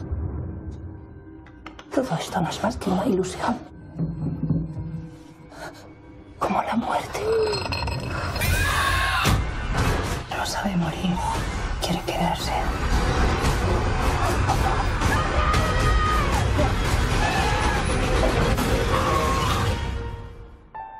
¿La matarás? Madre. Sabéis que muchas veces nos gusta hablaros. Yo me acuerdo, me ha impresionado mucho Cadáver, por ejemplo. eh, me gustó mucho Cementerio de Animales. Me gustó Slenderman a su forma. En fin, me han gustado mucho las que hemos hablado. Pero esta parece que tiene una caña tremenda y me gusta mucho que sea española. Porque quiere decir que nosotros hemos siempre dado la espalda un poco a todo este género, la brujería española. O la maldición, ¿o qué? Claro, Sin se desvelar mucho. están- claro, se están mucho. rescatando historias, yo creo, precisamente de las abuelas. Y esto yo creo que es una historia de, de brujería eh, moderna, de brujería de no hace tantos años, que incluso podría ocurrir hoy en día o podría estar pasando. Película que vi sola en el cine, completamente sola. Tú estuviste en una sala porque te la pusieron para ti, ¿no? Porque no hubi- Sí, sí. antes del estreno estabas del ahí sola. Y Estaba completamente sola e, en, en la sala, viendo precisamente además una historia de la que tantas veces hemos hablado. Claro, yo veía un montón de arquetipos de los que se utilizan en, en libros de brujería como estos, como la brujería asturiana, Sí, sí, uno de los, de los clásicos, eh, donde se cuentan estas historias, ¿no? Donde la abuela, Por cierto, eh, por un momento el libro. Cuando hablan de brujería, ¿quién ponen? hago ya. ¿Eh? Es que no hay otro que haya pintado igual este mundo, ¿eh? Mm. Bueno, es que tengo los posits aquí de. ¿Y? Porque este libro ya estaba leído y releído. Eh, es la típica historia de la abuela, ¿no? La abuela que está ya en, en las últimas. que La abuela está, chunga. Se está a punto de morir.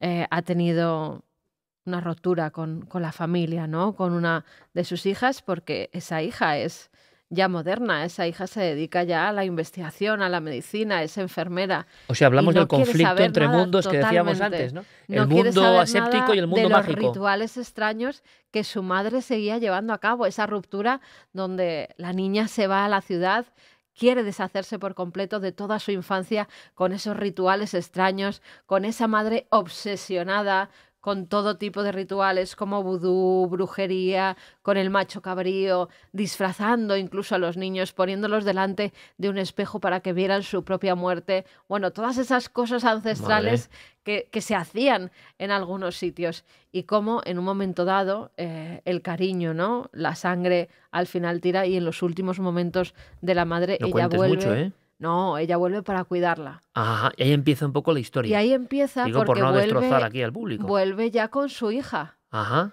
Y entonces es cuando se forma ese tándem de la abuela y la nieta. Eh, se dice siempre, ¿no? Que en las tradiciones brujeriles se pasa los poderes, en teoría, que tenían las abuelas meigas, las abuelas brujas, a las nietas. Hay una generación que se salta, que sería la de su hija, pero parece que la nieta tiene esas Oye, capacidades también. eso acaba de decir Carmen, ojito, ¿eh? Sí. La generación de salto. ¿Sabéis que esto es uno de los clásicos de la magia española? Primero, habría que preguntar, ¿por qué sabemos tanto de la magia americana, entre comillas, en la magia afrocubana? Mm. Dice, no, eh, tal. Sabemos mucho más, entre comillas, si se puede decir también, de la magia de estas latitudes, la magia sudamericana, ni os cuento, la magia afro-brasileña, la magia del vudú conectando diferentes partes del mundo. ¿Y de la magia española creéis que sabemos tanto? Yo creo que sabemos muy poco. Cuatro cositas. Hay estudios, pero estudios académicos, estudios de muy poco recorrido popular. Eh, nosotros tenemos estanterías enteras de esos estudios, muchas veces por regiones. Podemos extraerlo y contarlo, que es nuestra misión, lanzarlo al público. La cadena de salto, el eslabón que se salta. Un clásico, Carmen. Es decir, la abuela tiene el don, para bien o para mal, ojo. La siguiente generación no lo tiene y la otra sí. Y la nieta sí. Salta. Y parece que cuando se juntan esas dos generaciones que no se conocían es cuando empiezan a surgir de nuevo las historias, cuando empiezan también los recuerdos de esas, de esas hijas que lo pasaron tan mal con una madre, eh, una madre peculiar, ¿no? Una madre que, que, claro, el espectador tiene que ver, que gira entre la brujería y la locura, y el espectador se tiene que quedar con qué era. Una madre un tanto atormentada por, por bueno, no voy a seguir contando cómo es la trama, pero una madre atormentada que hace a sus hijas partícipes de ese tormento e incluso eh, tienen, bueno, está, está perfectamente documentada y está además ambientada también genial porque esa madre bruja tiene una de estas habitaciones con todo tipo de sortilegios y de piezas que ha ido recopilando a lo Se- largo o sea, de los que han años. hecho esto saben. Sí, sí, es sí. como el cuarto de la vampira de Barcelona, ¿no? Sí. Tiene de todo. La vampira de. Barcelona decía que venía de una estirpe de brujos, de astrólogos barra brujos, y de los brujos cuando se iban ya al lado antiguo, al lado, perdón, oscuro, ya sabéis que la leyenda también dice, aceptado universal, viven poco, algunos van serpenteando y llegan a mayores, pero siempre atenazados porque el mal que han invocado o el mal que han arrojado siempre se vuelve contra uno. La brujería es una serpiente negra que te mira y te ataca a ti mismo, ¿no? Un escorpión. Eh, eso se ha dicho siempre. Tú tienes ahí tratados de brujería, entonces muchas de las cosas que hemos visto antropológicamente y etnográficamente en muchos museos se adaptan al cine. Claro, se han reflejado en esta película y, además también se ve lo que siempre se ha dicho, ¿no? Como las brujas, y lo estábamos comentando antes, eh, está la tradición de que siempre se acercaban a los niños y por eso el ahogamiento y por eso porque captaban su energía. Y en la película pasa lo mismo, está captando la energía de la nieta para lograr salir de esa enfermedad, para coger fuerza, ¿no? De nuevo y, y superar ese, ese mal que la tenía sometida a una cama y a unas máquinas para seguir con vida. Así que una película, sí, una película me ha gustado. De verdad que sí, porque reflejó. Y fíjate, yo no sé si era porque estaba sola en el cine o porque Claro, es que eso es distinto, maja. es que se ve diferente. Claro, se ve no. distinto. Y entonces, bueno, claro, cuando te tienes sustos de los típicos de película que dices, Claro. ¿a quién me agarro ahora?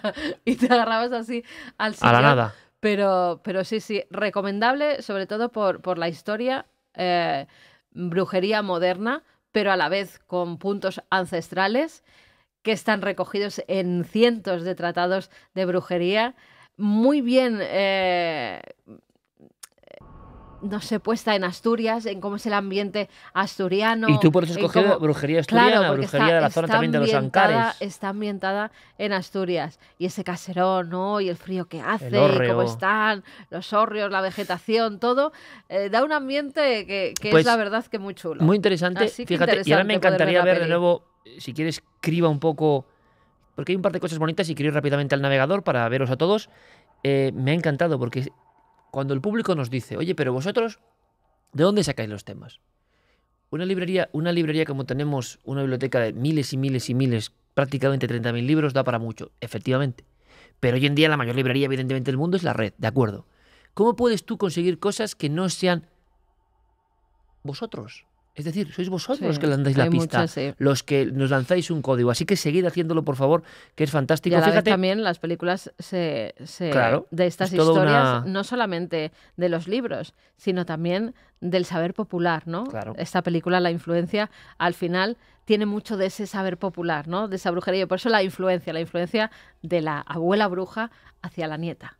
Mira, eh, en Instagram yo saqué esto. Sabes que tengo un personaje que es el robot Asimo.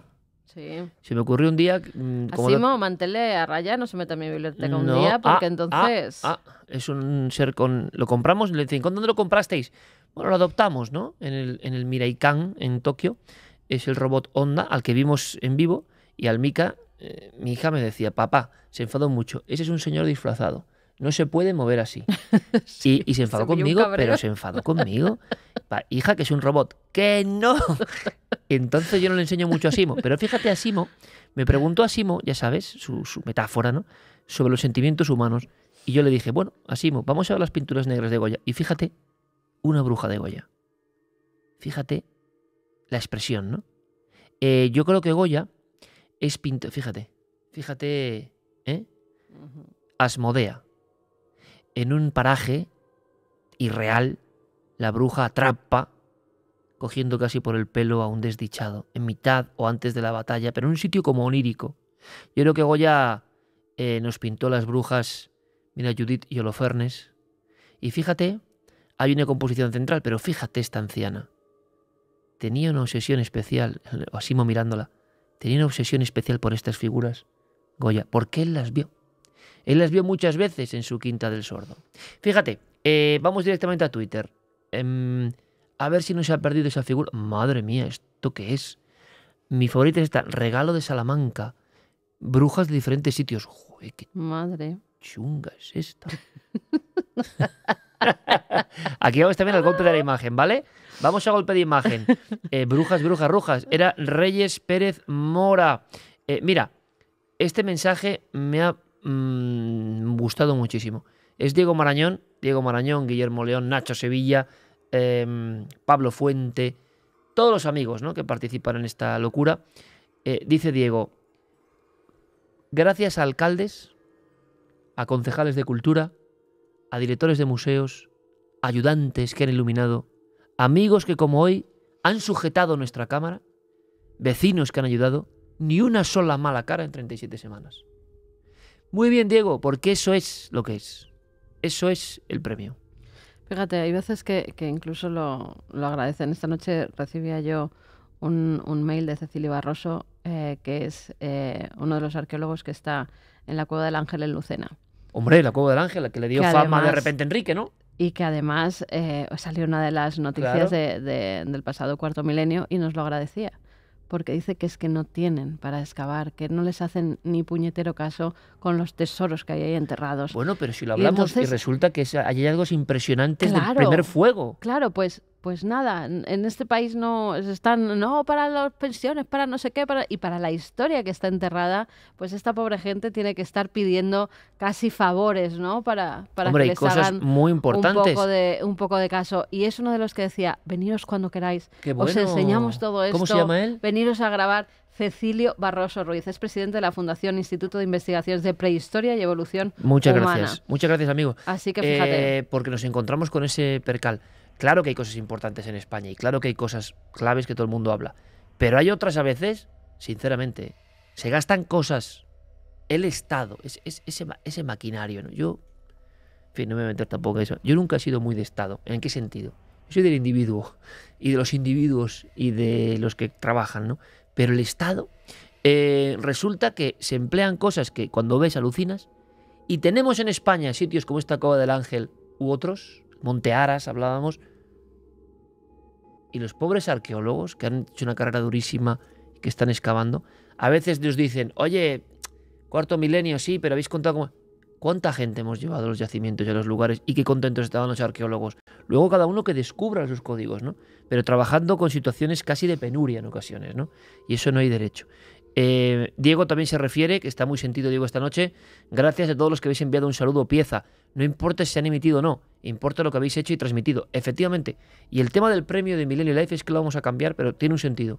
Porque seguramente hagamos un grupeto, no solo un éxito, que nos parecía un poco también injusto porque está llegando un montón de material que tenemos. Seguiremos, por supuesto, y haremos un día una comitiva, de alguna forma, para estar todos juntos y poder, y poder celebrarlo, ¿no? Sí. Creo que es maravilloso porque lo que pretendemos es que no tengáis ningún miedo a hacer vuestros reportajes. Em, qué bonita manera de acabar la primera temporada, dice Miguel Gutiérrez, con las imágenes de eh, Natalia. ¿Pueden ser fenicias? No, no parece. Esto, lógicamente, tiene más aspecto de esas culturas, entre comillas, bárbaras eh, hacia el siglo V. Pero fíjate, ¿no? Además, como las de Ochate, claro, la forma, ¿no? Antropomórficas clásicas, pero sí iluminadas en la noche, eran impresionantes. Martín Fructuoso, María Fon. Y aquí algunos muñecos, ¿no? Ya Esto, los ya, ya empiezan los muñecos. Esto es un poco. Esto une mal de ojo, porque, ojo, en el mal de ojo, en el sentido de que el vudú y el muñeco han sido importantísimos. Unimos eso con el Bada Retro, ¿no?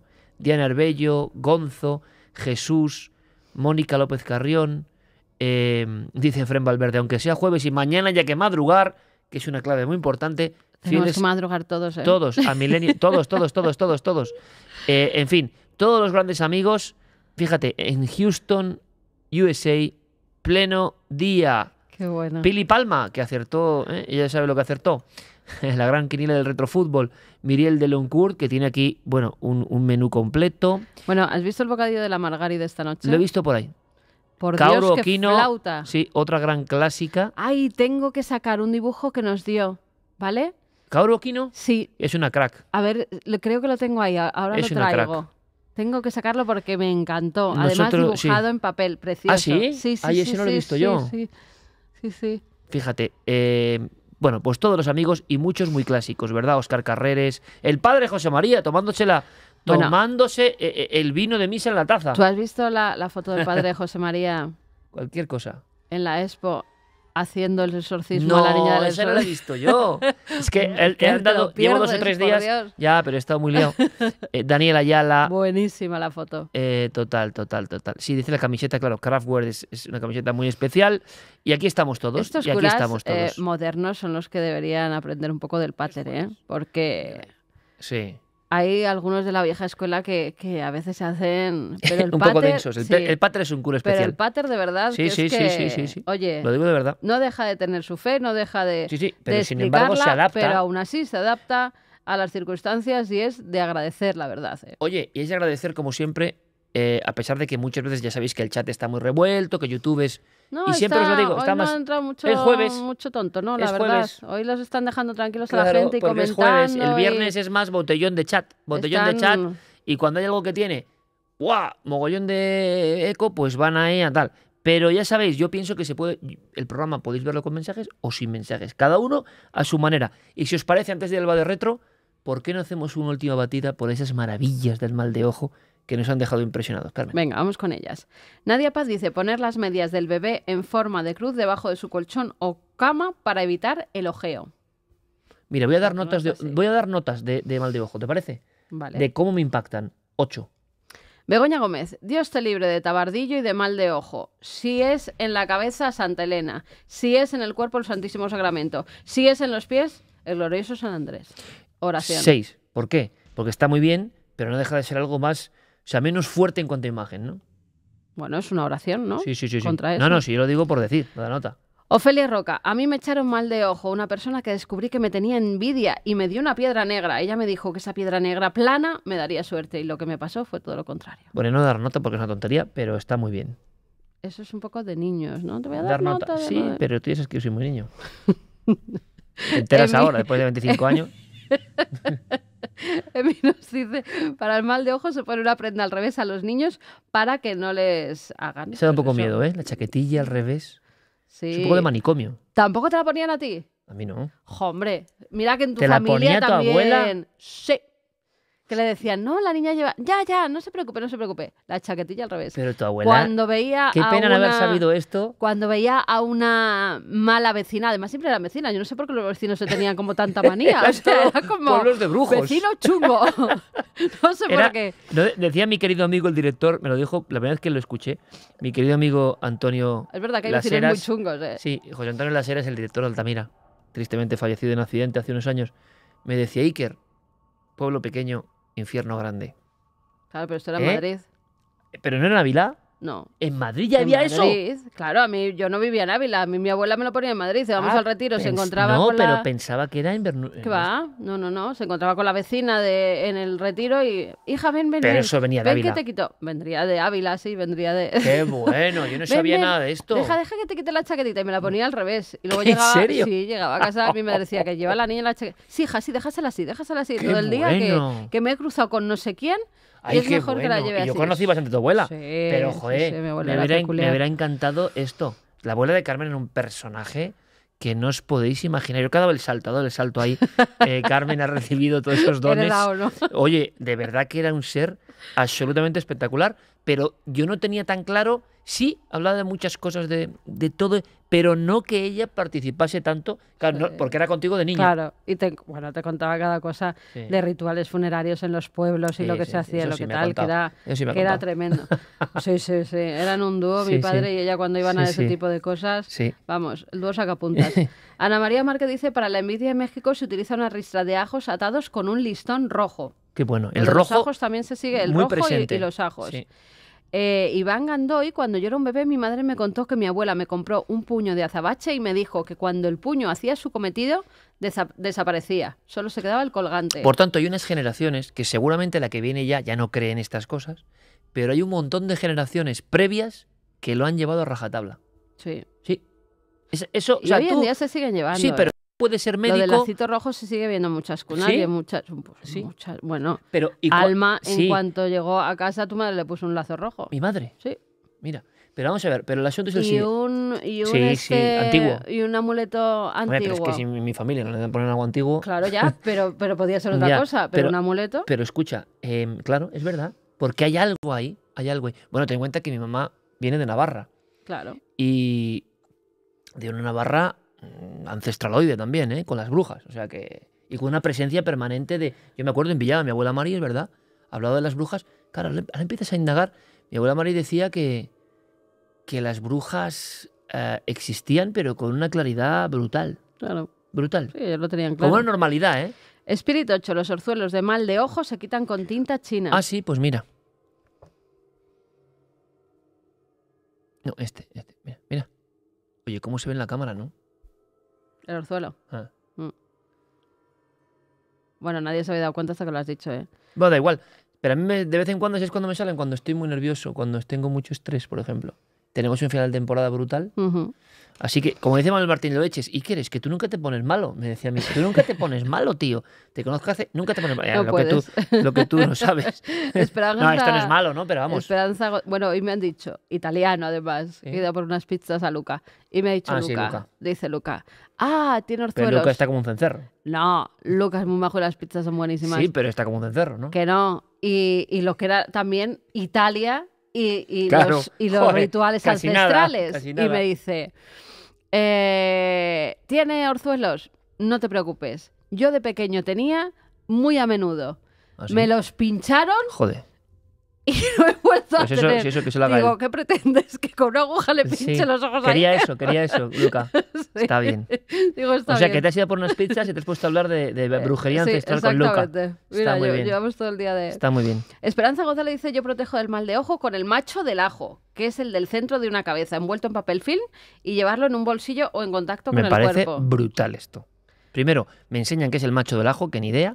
Bueno, es la parte justo de, de dentro del ajo. ¿Ah, sí? Cuando tú abres una, ca- una cabeza de ajo, hay varios gajos, ¿no? Sí. Abres uno de Hay los una que es gajos como en medio. y en medio hay como una Sí, raíz. sí. Ese es el macho del ajo. Toma ya. O sea, nunca te y eso es lo que se quita si no quieres que te repita el ajo. Toma, ¡Hala! toma. Mira, así te, Sí, sí, sí, te vas qué con bueno. doble aprendizaje a la cama. Lo que pasa que, claro, hay que llevarlo bien envuelto, ¿no? Porque si no vas echando un Sí. Hedor. olor a jete que... mi abuelo quitaba los orzuelos del ojo, te lo tocaba y luego se iba. Y según mi padre, enterraba un garbanzo y hacía un rezo. Al día siguiente, cuando despertabas, el orzuelo había desaparecido. Bueno, a coger en el jardín el garbanzo. y- Relojive. Como que tuviéramos garbanzos en el jardín. No, pero en la despensa habrá, ¿no? Ah, bueno, después así, pero no en el jardín. Ya, pero lo meto en el jardín, digo, habrá que entrar el garbanzo. Bueno, que A está ver. Alfon, venga. José Antonio Ortiz, yo de las visitas lo he visto en los gatos. Voy Decía la señora de edad avanzada que cuando se limpiaban los gatos era que venían visitas a una casa y jamás falla. Cuando los gatos se lavan. Esto es para guardarlo todo, ¿eh? Sí. Os lo digo, esto a mí me parece Mira, María un, Rosa. un tesoro.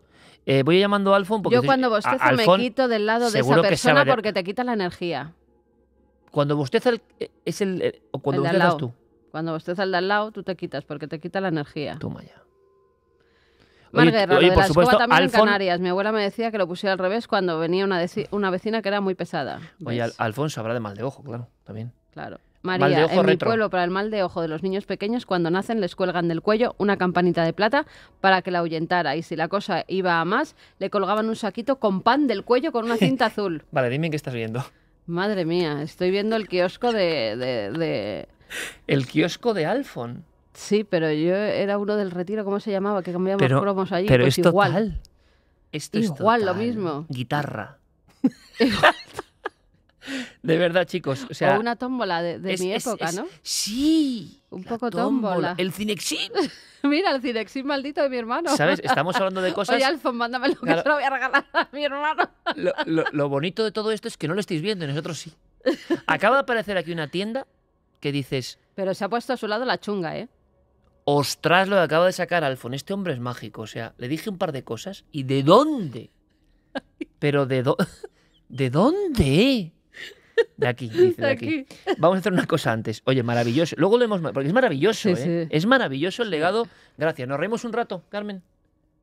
Pues, Bueno, llevamos un rato riendo todo ya, pero... pues es que eh, me hace falta mirad, poca cosa para que mirad, mirad. em, quiero ver una cosa. Luego te cuento también de los mejores momentos que decía la gente que has ah, vale, preguntado, ¿vale? genial, genial. Mira, ay, mi madre, De lo que viene aquí, de por favor, pero esto es el horror. Ahora le digo yo, es el horror y es el muñeco más querido de Tanita Chufo, Jackie Ostras. Billboard, compañero de cuarto de un amigo que vive en casa. Qué terrible, echa a tu compañero y al muñeco. A los dos juntos. Porque eso no es Vino de un mercadillo de pulgas, ya, ya. Eso no es sano. Esto es el, el De flequi pulgas, pero no- empanado de o la no, de vaina. pulgas, pulgas. Eso parece una boina, ¿no? Una boina Alaska. una boina platillo, sí. Boina platillo. Madrugada viernes bien. Sí, aquí. Bueno, este, es que espera, espera. Lo que quería mostraros es esto. Tengo que ir muy para atrás. Perdonadme, ¿eh? Esto es. Vamos a hacer un rewind antes de entrar en la tienda de Alfón. Preparados, ¿eh? Para la tienda de Alfón. Todos los amigos, como siempre, tal, tal, tal, tal. Mira, te lo voy a pasar a Alianza en el ojo para quitar los orzuelos. En Uruguay se hace. Toma ya. Claudia, gracias. Mira, yo puse este mensaje, Carmen, a ver qué os parece, ¿eh? Estos son mis muñecos favoritos de todos los tiempos. Luego me dicen, joder, sale con el águila. El. Pero es que, claro, es del año 80. Entonces todavía la selección Franco española. se había muerto. Claro, pero la selección española hasta el 81 llevaba el águila. ¿Qué Entonces, la- claro, la gente. "Oh, da-". digo, claro, ¿y yo qué quieres que la haga? Si eran o sea, los de los la época. Algan Boys estos franquistas. El- Toma ya. Hombre, este con el bigote tiene aquí su presencia, ¿no? Bueno, pues esto es yo, es un poco. Aznar.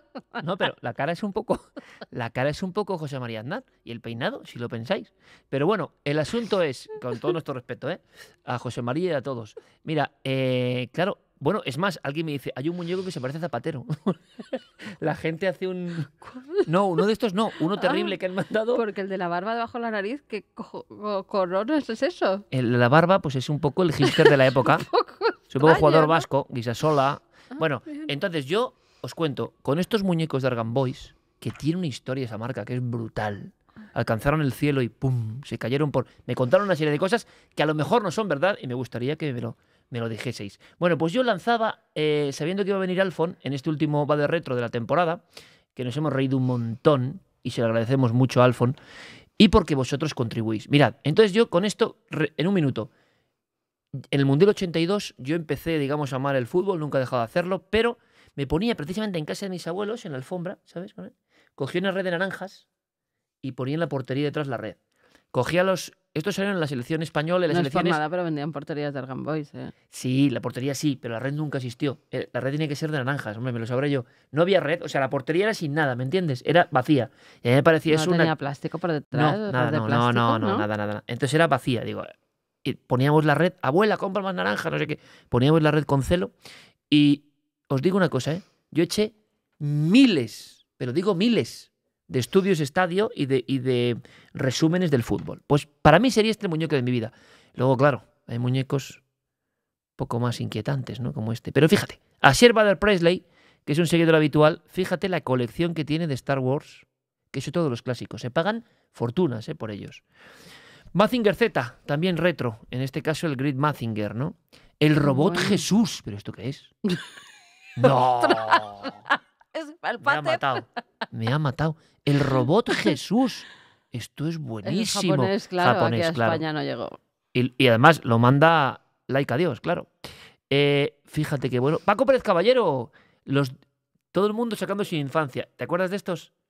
No, yo De. He-Man. Eso sería mi hermano, yo con eso no. Buenísimo. Masters del Universo. Eran unos que se movían así la cintura y Sí, decían sí, ras, sí. ras. Manu Lisbona, que nos habla de Superpowers Collection Superman.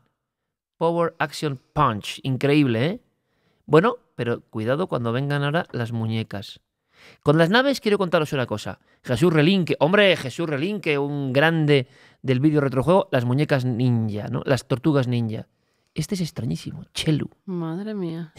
Qué porra, ¿no? como muñeco legionario, o sea, una cosa Pero extrañísima. me suena un montón. Mis muñecas Bueno, favoritas, las Barbie. Barbies, Bueno, Barbie muchas, pero sí. Bueno, Barbies. Oye, dime tú si Pero Ken- espérate, que es que había algunas Barbies cuando todavía a España no habían llegado, que ¿Pero eran ¿Qué las hace que aquí de Ken verdad... con pelo largo? Le ha cambiado la cabeza. Es lo comía.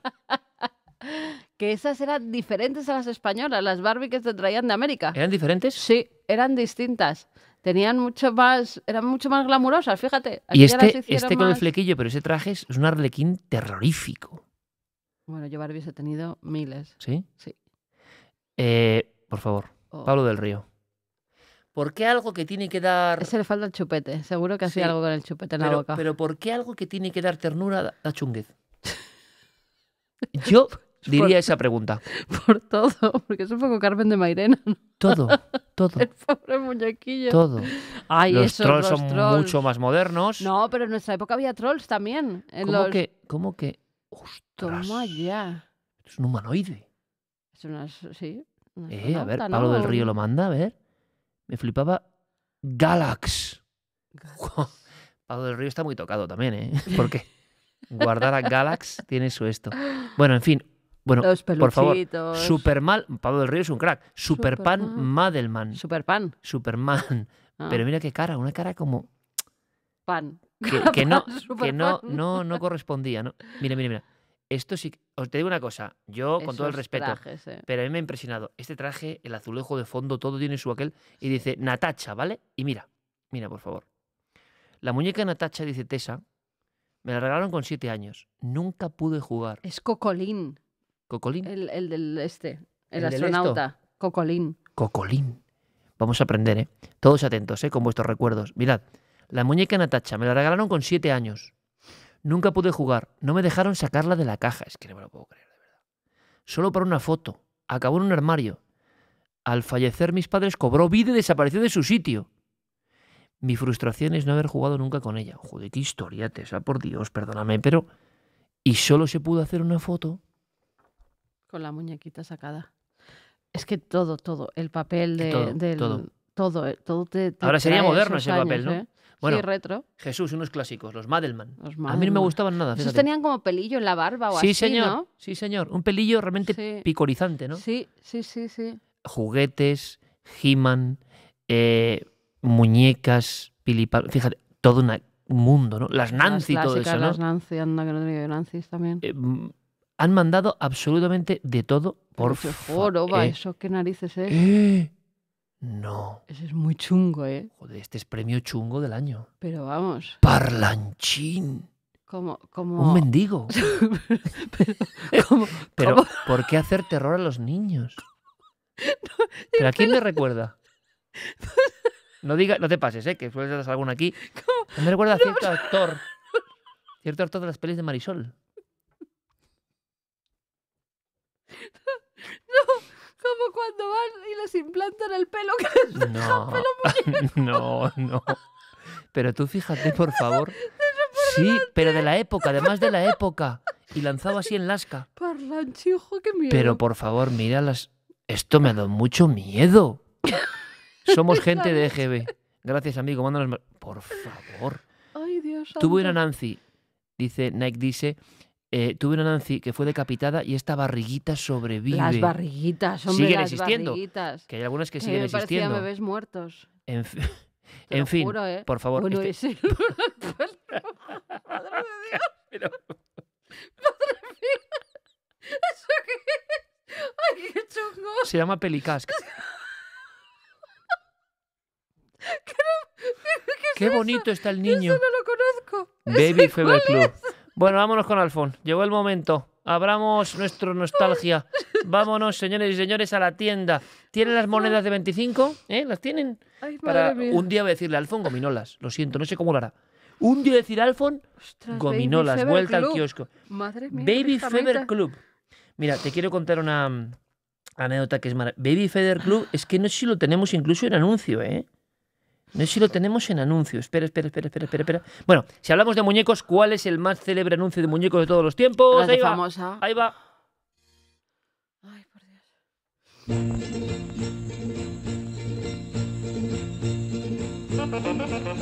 Las muñecas de famosa se dirigen al portal para hacer llegar al niño su yo creo que en su época tuvo que ser un poco herejía, ¿no? Es decir, en España tal, meter al, al niño Jesús ahí en medio. Mira, mira, el niño Jesús.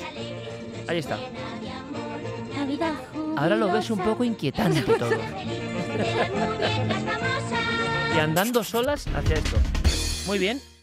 Esto. Pero yo el purru purru al principio no me acordaba. Sí, ¿Y esto qué? Mira. ¿Y esto qué? ¿Qué es eso? Hola Nancy.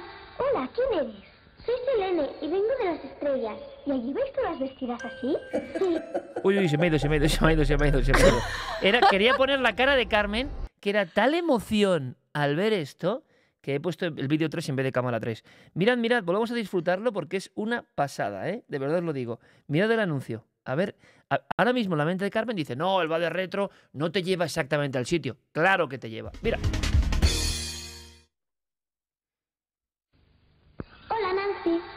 ¿Quién eres? Soy Selene y vengo de las estrellas. ¿Y allí vais todas vestidas así? Sí. Pues aquí en la Tierra, para jugar conmigo, podrás ponerte todos mis vestiditos. ¡Oh, qué bonitos! Cuando Selene ve los vestiditos de Nancy, se le encienden los ojitos. Selene, la muñeca que se le encienden los ojitos. ¿Qué? ¿Cómo te quedas? ¿Cómo te quedas? La, maldita muñeca que se le encienden los ojitos. Daba Me miedo. acuerdo, joder, que se daba miedo. Saliste en la prensa hablando de que te daba miedo esa muñeca. Es que es verdad. Hombre, la muñeca es. Mira, me, me he ido a los Reyes de, Claro. de no sé qué año. Es el de retro. Abriendo la caja de esta muñeca que dije, joder, es una Nancy chunga. Porque claro, yo la veía y con el pelo. Y era como la más moderna, ¿no? Era la más moderna. Pero luego es verdad que con eso. Es que daba. O sea, tú veías los ojos. De noche. De noche solo. En la estantería que es que se ponían solos. Claro. Llevaba el medallón aquí, ¿no? Y entonces, claro, tú si lo pasabas por, por el pecho de, de Selene, los ojos empezaban como chu, chu, chu, y eran como verdes intermitentes, chungos. Pero a veces se movía la, la chapita que llevaba y entonces, claro, de noche se ponía ella sola con los ojos. Y yo por la noche me despertaba, veía eso y claro, como alma que lleva el diablo, salía de mi Señores, habitación, pero vamos, que recuerdos. esconderle la muñeca, ¿eh? Normal. Porque no... Recuerdos. Ahora, en este instante, la tienda del Alfon nos espera. Y fíjate, yo tuve una. Me mandaron un mensaje. Yo tuve una. Tenemos Baby Fever, un, un muñeco que se meaba, dice Diego Marañón. Tenemos un anuncio de un muñeco que se meaba. Más perturbador todavía. Basta, Diego, basta de mandarme mensajes. Y el anuncio sale el retrete. Vale, hombre, Diego. Escatológico está Diego ahora. Bueno, Mira, esa Nancy está ahora súper cotizada entre las Selene. coleccionistas. es lo que quiero preguntarle a Alfon. Que me encanta su mundo. Que, que sube, que baja, que se persigue, que tiramos y diga, ¡ah, no! Y sobre todo el efecto recuerdo. Mira, efecto recuerdo, rápidamente.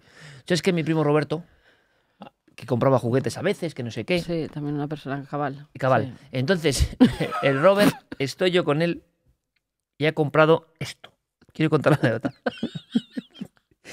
Me va a matar. Quiero contar esta anécdota, por favor. Mi primo adquiere, pero este año es 90 ya, ¿eh? O sea, lo adquiere ya como retro, ¿vale? O sea, paga una pasta. Esto.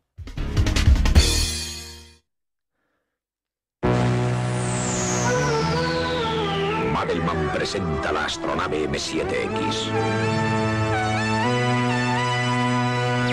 Si quieres viajar con tus Madelman, entra en la astronave M7X. ¡Disparen cohetes sonda! Astronave M7X, ahora con el nuevo hombre verde de Magelman. ¡Hombre verde! Hombre en verde, Madelman. Bien, la anécdota que yo tengo de todo esto, que le va a encantar a Alfon, yo creo, es que estoy ya durmiendo con él, me acuerdo, no sé si era en Navarra, bueno, no sé. Habíamos ido a comprar unas cosas y él había invertido una parte de su dinero en la Madelman MX7. Me decía, primo, es que esto vale un montón, esto es muy importante. Y a las 2, 4 de la mañana, yo estoy durmiendo junto a él, ¿vale? Y escucho, ¡desgraciado! Que se levanta así, pero se incorpora. ¿Pero cómo que desgraciado? ¡Me ha engañado! Sale mi primo como con el calzón quitado. O sea, digo, es una pesadilla. ¿Qué está pasando? Coge la caja rápidamente. ¿Para qué lo cuentas? Empieza a, dar, empieza a dar la vuelta a la caja, saca la caja, mira un código. ¡Ya! ¡Lo mato! Desgraciado. Y no era la MX7. Le había vendido la MX7, pero era la- como la M7, algo así. O sea, variaba una letra, pero de esa letra. La chunga, o sea, La la- chunga, la, la que no quería era. nadie y no valía nada. Pero era prácticamente igual. Pero todo el mundo. Y él pensó, la pequeña X era la diferencia. Yo tenía esa. Y eso pasa hoy en día. Pues nos lo va a contar el gran Alfon Arranz, ya está con nosotros. Alfonso Arranz, querido amigo, muy buenas noches. ¿Cómo estás? Buenas noches, sí que bienvenidos a la tienda. A ver, bienvenidos a mi tienda. Espera un momentito que te veo aquí. Mira, mira, mira, mira la tienda. Mira, es que me veo en Vitoria, año 81, entrando donde solo te faltan los botes de golosinas aquí abajo, ¿no? Eh, las tengo en el almacén. Los, los pirulos esos de caramelo Sí. con, como con barquillo por fuera, chungos. Esos ¿Tienes, que ¿tienes bote de pegados. pepinillos y cebolletas también o no? No, pero tengo un bote de esquí lleno de muñecos. Tienes un bote de skip lleno de muñecos. Primero, ¿qué es lo que impacta? Desde luego, a, a Carmen la impresión. Te dije muñecos, pero has metido de todo. Porque la Vale. guitarra, ¿qué sentido tiene? ¿Me lo quieres decir? Fíjate, esa guitarra Joder, me la regalaron cuando yo cumplí. Muñecos. No, cuando yo cumplí no. Ah. O sea, cuando yo tenía cuatro años, el día de Reyes, y me encontré con esa guitarra y me puse, claro, que fue un impacto tremendo y dije, voy a empezar a tocar la guitarra. Todavía no sé tocar la guitarra, ¿vale? Pero al menos está en la guitarra, le faltan dos cuerdas. Pero son elementos que te llenan. He desmontado mi juguetera, la tenía, y esto es verdad, desde el año 2003 cerrada y ordenada. No. Y llevo 24 horas sacando todo. No sé ni lo que tengo aquí. No sé ni lo que tengo aquí. Bueno, ¿Qué es eso de atrás de un traje? Lucas. ¿qué es eso? Eso es. Coge, mira. qué miedo. A ver, señor, Es- señor, es- ¿me, me- dice cuánto vale eso? Señor, Sí, me dice cuánto vale Esto marca. eso. ¿Cuánto marca? Alfonso. Esto no marca nada. porque- este es el traje del novio Ay. de la Nancy, Lucas. No. Lucas. Joder, El Ken tenía novio. español. El, El Ken Ken español, español.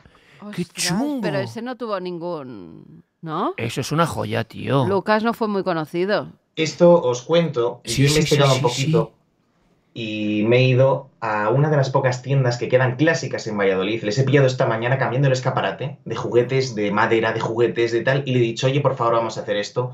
Son nuestros amigos de Mentaberry, que he puesto ahí el, el cartelón. Estaban hoy trasladando juguetes hoy. Hoy. Porque, y entonces oye, he dicho, ojo a las tiendas de juguetes como lo están pasando también, ¿eh? Que Totalmente. están... eh, Están muy mal. Me da mucha pena. Las tiendas de juguetes que no sean de grandes compañías, las viejas tiendas de juguetes, vamos, es... es- No, pero se sigue comprando, ¿no? sí, no, no, no. Luego ¿Cuántas veces hemos ido nosotros? con- Pues cada vez que vamos a un Sí, sitio y muchos de- ya están cerradas en muchos sitios. Oye, y las medias de la Nancy. Ostras, creía que era la faja, que también tenía Las faja. medias. Nancy. Las medias de la Nancy, que también, porque dice, me voy al almacén y mira a ver qué tengo. Y nos ha dejado un poquito esto, nos ha dejado el juego del chollo, del país del antichollo que le tenemos ahí arriba. qué bueno el chollo de Chicho Ibañez Serrador, del 1, 2, 3. Sin Pero por abrir. favor, eh, eh, Ah, por favor, el Alfon, es verdad. Alfon, por favor, enséñame Lucas por detrás los, los Vale. modelos que había, porque me ha impresionado eso. Porque hablamos de muchas empresas españolas, mira, mira, mira, mira, mira, con chándal, que pone periodista, Fórmula 1, gabardina. Es muy, o sea, el Los peinado de Lucas oficios. es un poco el niño de la profecía. Lucas no tuvo éxito. Y esto de famosa, pues este es el chándal, el que corresponde al El chándal. chándal. Eso, vamos a ver, ¿existe ahora un mercado del juguete antiguo retro de nuestra época, Alfon? Lo primero, ¿existe ahora Pues- mismo? Hay un mercado eh, fomentado sobre todo por ciertos portales de internet donde se aprecia lo más importante de un objeto retro es que no esté abierto. ¿Pero y eso por Eso. qué?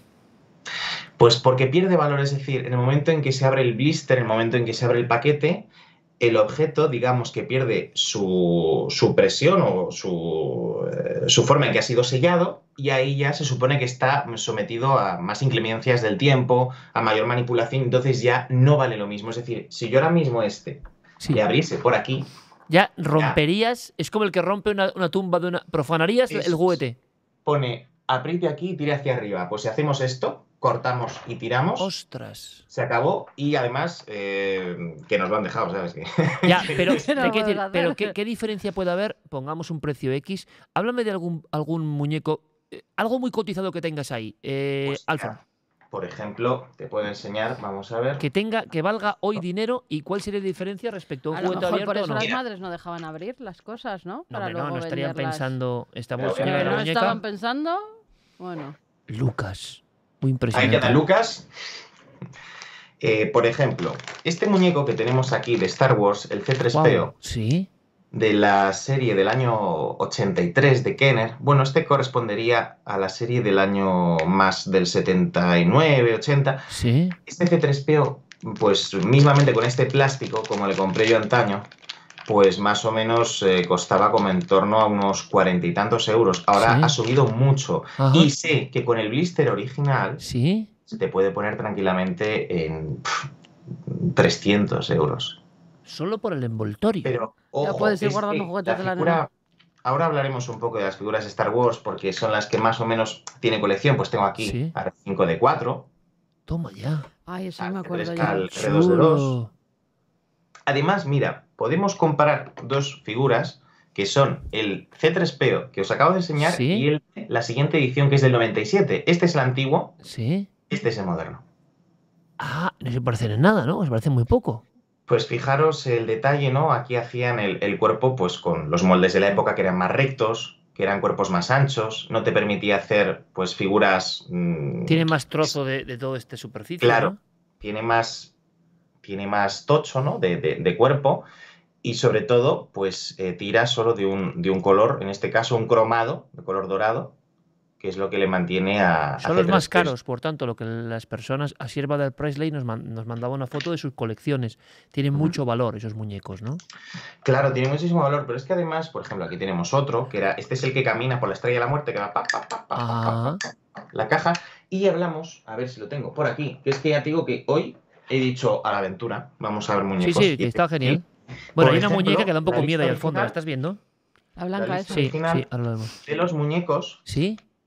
que venía con Star Wars, esto es del año 83, donde tú ibas haciendo la colección, tú ibas con los complementos muy importantes porque los muñecos vienen con sus complementos, igual que los Secret Wars venían con los escudos secretos, con las armas, ahora enseñaremos un poquito de armas, y básicamente, eh, por ejemplo, si nos vamos a un... Aquí tenemos una tropa de asalto, El super clásico, ¿no? De Star Wars. que se han derretido los brazos del plástico, fijaros qué color ha cogido, se han derretido, se me, ha- me quedo pringado Qué chulo. con el, con el plástico. Pues este, hay una versión que es el de Luke Skywalker, que se le quita el casco y sale Luke Sí. Skywalker, creo que está en mil y pico euros. Esta figura. El mercado que existe Madre del mía. juguete antiguo. Existe. Por eso decía la, la nota de mi primo, por ejemplo, ¿no? Que estaba invirtiendo y diciendo Sí. eso, y una pequeña variación, que puede ser un año, como cualquier objeto de coleccionismo, ¿no? Te lo tira por tierra y pasa a valer 50 veces menos. Mira, estamos recibiendo, Alfon, muchos elementos. Hablábamos antes de la magia y hablábamos de la sensación del muñeco como una de las cosas que todavía impresiona. Es más, en la, en la exposición de Madrid del miedo, los muñecos es lo que Sí, sigue dando más miedo. O sea, hay algo ahí y todo el mundo estará mirando esa muñeca de aspecto. Bueno, las dos son un poco Ah. inquietantes, ¿eh? Hay, hay unas cuantas muñecas en una silla que. Sí, señor. señor, señor, de la tienda, por favor. eh, es que ¿Cuál, es- cuál quiere? eh, la, la- la blanca, ¿no, Carmen? Sí, sí, La la blanca. muerta, elige la muerta. elige tú ahora, elige tú, la, La muerta. muerta, la muerta. La La, muerta. blanca, sí, la, la Bueno, amortajada. cuidado, cuidado con el bebé pequeño con pelo, ¿eh? No, no, la No, blanca, la blanca. La amortajada. Señor, señor. Es porque las, las otras son muy frágiles. Ah, que las está Ah, colocando. Vale, Tiene que tener en cuenta. Ostras. Aquí la tenemos de porcelana. Esas son muy chungas. Estas son las que. Es más, ahora mismo, Hola, Carmen. Hola. ¿qué dice nuestro público te ahora mismo esta noche, verás viendo tú, esta te una. Me encantaría saberlo. Simplemente la Bueno, nos daban unos datos. Un Transformer eh, generación 1 Fortress Maximus de hace 30 años se vende fácilmente por 2.500 euros. 2.500 euros un Lo decía. Tecaman, sí. Me lo creo, sí, sí, sí, perfectamente. Bueno, pues esta muñeca de porcelana que nos ha cedido nuestros amigos de Mentaberry, eh, aquí la tenemos, pero es que atención, porque las que veis en el fondo son más terroríficas. A ver, a ver, todavía. a ver, a ver, a ver. Bueno, Voy porque muchas amigas, sobre todo amigas, han mandado fotos de muñecas y muñecos que estaban en los, en los códigos de la moda de aquel momento. Muñeca de cartón. ¡Ostras! Años 50. Madre mía. Qué cara de, de mala leche, ¿no? Sí. está enfadada. Aquí la tenemos. Años está 50, enfadada. Valladolid. Eso es.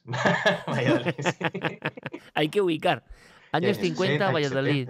Madre mía, qué cara. Pero eso tiene que dar miedo a los niños. Pero fijaros, el, el detalle está sin estrenar y el vestidito aquí, pues se le ha ido descosiendo un poquito. Es decir, esta pues se podría restaurar y vender pues por un precio superior al que evidentemente se puede vender ahora. Claro, pero esas las tienen en la tienda todavía para vender o las tenían en Eh, el no, almacén. en el almacén, En el son de almacén. almacén. Qué bueno eso, Alfon. Pero escucha, eh, tú haces un plano de cuarto milenio de una habitación oscura con esa muñeca solo en la habitación mirando y te digo que da más miedo que ningún fantasma. ¿Por qué? Mira, de la otra decían, Porque, No, porque- que yuyu, yuyu, yuyu. Pero sigo, sigo. Alguien que dice, no me da Alfon, miedo. Alfon, me dan miedo, miedo. A mi madre le dan pánico. Alfon, escucha pues un parece momento. que está viva, A ver. fea. Ja, qué bonita. Esa muñeca me acaba de recordar a una prima mía. No me gustan nada las de porcelana, me dan miedo. Las muñecas de porcelana dan mucho miedo. a que eso es un- a- estamos sondeando en ese inconsciente colectivo. Yo la quiero. Así Parece como- de los años 20. y el bebé claro. más pequeño con ese pelo. Así como existe un miedo a los payasos, existe un miedo a las muñecas concretamente. Sí. A cierto Te voy a tipo de traer yo ahora muñecas. unas que tengo. ¿Sí? Sí. Ve por ellas, ve por ellas. Sí. Es que Bueno, qui- espera, espera. Es que quiero verla. Ya, que- ya, la no te que quieres soy. ir de ver la tienda de Alfon, ¿eh? La tienda de Alfon. A Aquí ver. seguimos con más muñecas. A ver. Atención porque os voy a enseñar también. Aquí tenemos Mi pequeña aldea. sin abrir. Sin abrir, por favor. No, pero Sí. la familia Telerín. Ese Un es un de clásico de los Telerín. 60. Sí. Eso vale dinero, ¿eh, Alfón? ¿Ese cuál es? ¿Cuál es el que está dentro? El- Pues es la niña. La niña. Y la niña da La niña pavor. de las coletas. La niña da La niña de pavor. las coletas. Ah. Oye, pero de todas formas, y fíjate, ¿Cómo utilizando mola? ya la televisión como reclamo, Alfon, ¿eh? Sí, sí, sí. ah, bueno, era el producto estrella y lo que tú comentas, eh, también el diseño de los envases Ah, eso hace vale. la tele y hace que esto en los 60 hacerlo era pasta. Oye, y esto es innovador, ¿eh? O sea, esto llama la atención hoy, ¿eh? Con la, la cara de la tele, claro, ahora estoy cayendo. Oye, es que te digo una cosa. Esto es innovador hoy y te quiero contar una cosa, Alfón. Lo que pasa que, que van a ir todo el mundo a la, a la juguetería a intentar comprar esto. Bueno, pues oye, si las pagan bien, claro. le hemos hecho un favor a tus amigos. 39 llevan, Claro, o sea que- 39. Qué hemos bueno. estado, en esa juguetería hemos estado un montón de veces cuando hemos ido a Valladolid comprándole ¿Ah, cosas sí? a Alma. ¿En- sí, en Valladolid? Sí, sí, sí. sí. Puede ser, hemos recorrido tantas. Mira, eh, Alfon, eh, enséñame, no, no, otra vez la del familia Telerín, por favor, otra vez. ¿Por Ah. qué? ¿Por qué? Porque eso es innovador. Eso es, bien, eso es época concreta de una industria. Dile que me la vendan, que esta me gusta a mí, que a ¿Te Alma le gusta? encanta, sí. Es que escucha, vamos a la cama que hay que descansar, es esta familia. Sí, sí. La que genera ese, ese, ese himno de, de- que luego fue Ca- Casimiro y todos estos que. Pero esto es la familia Telerín. Pero fíjate lo que te voy a decir Alfon. En, nuestra, en nuestro mundo retro. Existe una industria juguetera española, como existe en el milagro del desarrollo español. O sea, yo no me meto en política, ¿eh? Pero el milagro del desarrollismo español es lo que es. O sea, a mí, la industria española multiplica eh, mm, exponencialmente. las muñecas mientras. Sí, multiplica exponencialmente la capacidad que tiene de ofrecer productos y existen, eh, fíjate, juguetes Sendra, existen un montón de industrias que ya no existen, que se lanzan una carrera de todo tipo, coches, muñecos, tal, para intentar competir con unos productos increíbles y luego es la globalización la que muchas de ellas las hunde. A mí me contaron, Alfon, no sé si tendrás datos o no, Argan Boys, que eran mis favoritos, me cuentan que tenían un imperio, eran de Cataluña y de pronto eh, ¿Qué sonido es ese, Alfón? Ah, vale, vale, vale. decía. Y me cuentan de pronto que intentan comprar derechos, igual no es lo cierto, ¿eh? pero a mí lo que me contaron, de unos muñecos Dragon Boys, pero de Disney. ¿Y qué ocurre?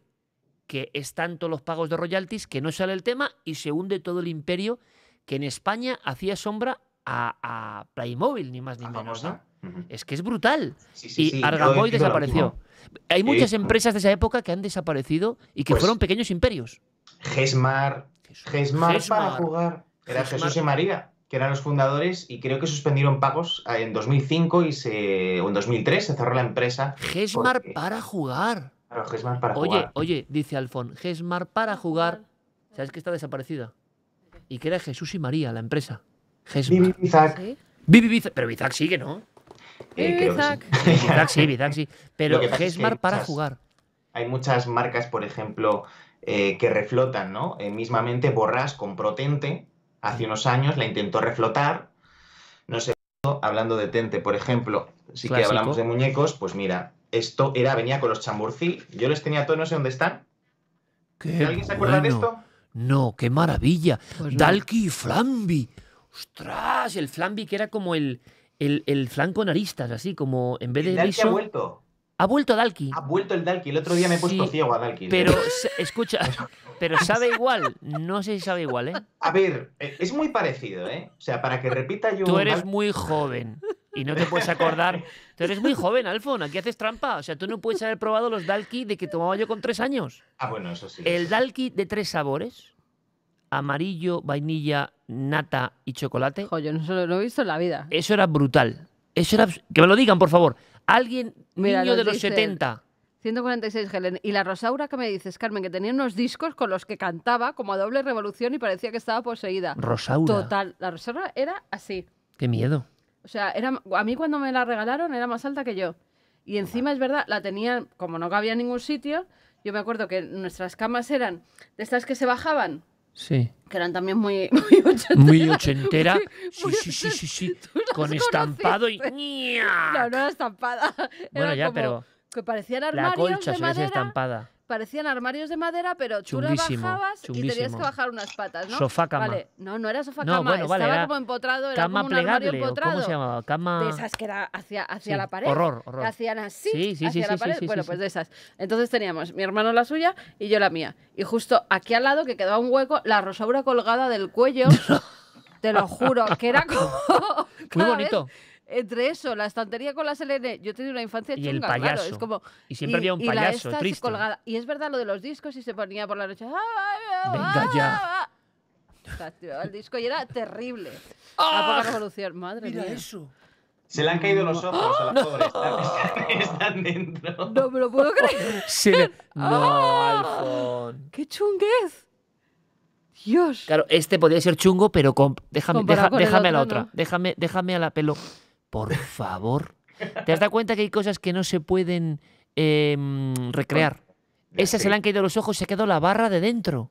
Sí. Barra cerebral. La- o auditiva. O auditiva. O sea, Pues qué miedo, se. Qué Esta, miedo. esta no, estaba, no estaba usada. Y, ¿Por qué y bueno, esas- son todo de, de estocaje. Pero ¿por qué esas expresiones? ¿Cómo Pues, ha cambiado ¿sabes? eso respecto a hoy? Totalmente, Bueno, radicalmente. ahora las muñecas parecen dibujos manga. Claro, todas. Claro. Todas. Ojos Todas. grandes, estéticas irreales, totalmente. Es decir, Totalmente. tú de la estética de la Barbie, que ahora mismo una niña, si tiene de referencia a Claro. una muñeca de cómo vestir o como tal, Ya. wow. O sea, cuidado, cuidado con eso porque. No, porque ya han hecho Barbies eh, gorditas. No, no, pero, sí, pero Barbie va bien, va bien. Sí. Pero hay otras que. Ya. Ya. Y os voy a enseñar algo en primicia, por A favor. ver, Esto es de la familia lo que os voy a enseñar. Voy a poner aquí tumbado que Cama la turca se llamaba. Cama turca. Cama turca. Mirad, esto era eh, lo que queda de la muñeca de mi abuela de 1915. Ostras, qué chulo. Qué leñazo me acabas de dar. Pero eso duermes con eso al La lado. cabeza. Joder, qué miedo, No, no Alfon, por. Dios. Por Dios, qué miedo con los ojos Pero qué tío. derruidos. Sí, o sea, directamente, a ver, no ha, no ha aparecido más que esto. Y trepanada, trepanada. Ay, Dios mío. Ay, ¿Qué pone? ¿Qué pone? Unos signos. Sí. Esto es el miedo. Alfon. de la Tú lo has sacado como algo entrañable, pero es el miedo, amigo. Es- es- Este, es- este es el entrañable, ¿no? Este, este es el entrañable. A ver, es la Alfon. herencia de tu abuela. Alfon, la herencia de la abuela. Vamos a ver lo que dice el público de la herencia de la abuela, por favor. Mejor ni de ver. Dice Carmen que mejor ni ver. Me acabas de pegar un leñazo que cuando, como cuando veo alguna recre de. Me la has sacado así de Ay. repente. A ver, era impresionante. Pero, a ver, ¿qué dicen? Me- Dicen, mis peores pesadillas han sido con juguetes como esos. Es horrible soñar con esas cosas. Yo tenía una rosaura cuando tenía tres años. Mi madre dice que yo me creía que era una niña y le hablaba a la rosaura. También la "Yo escena es brutal, ¿eh? Infancias truncadas por los juguetes. Yolanda, Pero que- alguien habla de la una cabeza abuelo. como- pues la sí. cabeza de la, la abuela, no, perdón. La cabeza de la muñeca de Alfon de la abuela. ¿Alguien habla de ello? Porque es muy. Yo creo que la gente se queda en colapso. Daba miedo. ¿eh? Eh, tengo una muñeca en una caja en mi habitación y es una muñeca de estas antiguas. A veces mi cabeza se gira sin motivo y mi mirada se queda fija en esa muñeca que me mira cuando duermo todas las noches. Tú sabes, Alfon, que Es Ismael. uno de los mejores, una de las mejores introducciones de. Ponme un momento la muñeca otra vez de la abuela. qué horror. La muñeca embarazada mola, dice uno. Mira, mira, mira. Quita eso, Con por una- favor, es que es mía. impresionante, es impresionante. Es impresionante. Lo que habrá visto Pero esa los cabeza. dientes. Los dientes, ¿por qué son en pico? Eso es una muñeca vampiro, pero es que son en pico. Con los ojos Alfen, vueltos. son los ojos, los ojos es vueltos. Es una muñeca de exorcismo esto. Pero escucha, Alfon, hay, un, hay una entradilla brutal de Fernando Jiménez del Oso con una muñeca así parecida tirada en un sembrado sobre el fin del mundo y es brutal. Más, más, más. Queremos conocer la tienda de Alfon, pero bueno, ir, sol- ir, ir salpimentando esto, Alfon, con ciertos códigos. Por ejemplo, Sí. esto es muy interesante. Eh, hablábamos de un imperio español en el juguete. Toma, mira. ¿Pero tú qué haces aquí, Triqui? Eh, perdona. ¿Y estos? Estamos en directo, tío. Oh, vale, perdón. El nuevo José, el nuevo José Es Luis que Moreno. está por aquí, por el almacén. Es el ayudante que tengo esta noche. Y, y el hombre, pues, es que Hemos está chiscado perdido- porque tiene a sus colegas atrás. Por favor, mira Carmen, mira Carmen. O sea, Hemos perdido cualquier conexión con la realidad. ya- es que Triqui Alfon- se le va mucho. Pero Alfon es, o sea, el nuevo. El nuevo Moreno. Toma, Moreno. O sea, pero impresionante ese momento tricky. ¿Sabes? Que ya hizo algo en, en las redes. Eh, eh, Es que no os acordáis que salía como comiendo galletas cada dos Sí. trozadas y era lo mismo el calcetín. el calcetín. Y luego Alfon se ha puesto una camisa adecuada para este momento, porque todo, todo en la estampa que nos muestra Alfon que se mimetiza. Pero mira, soy dependiente de galerías. Esto me.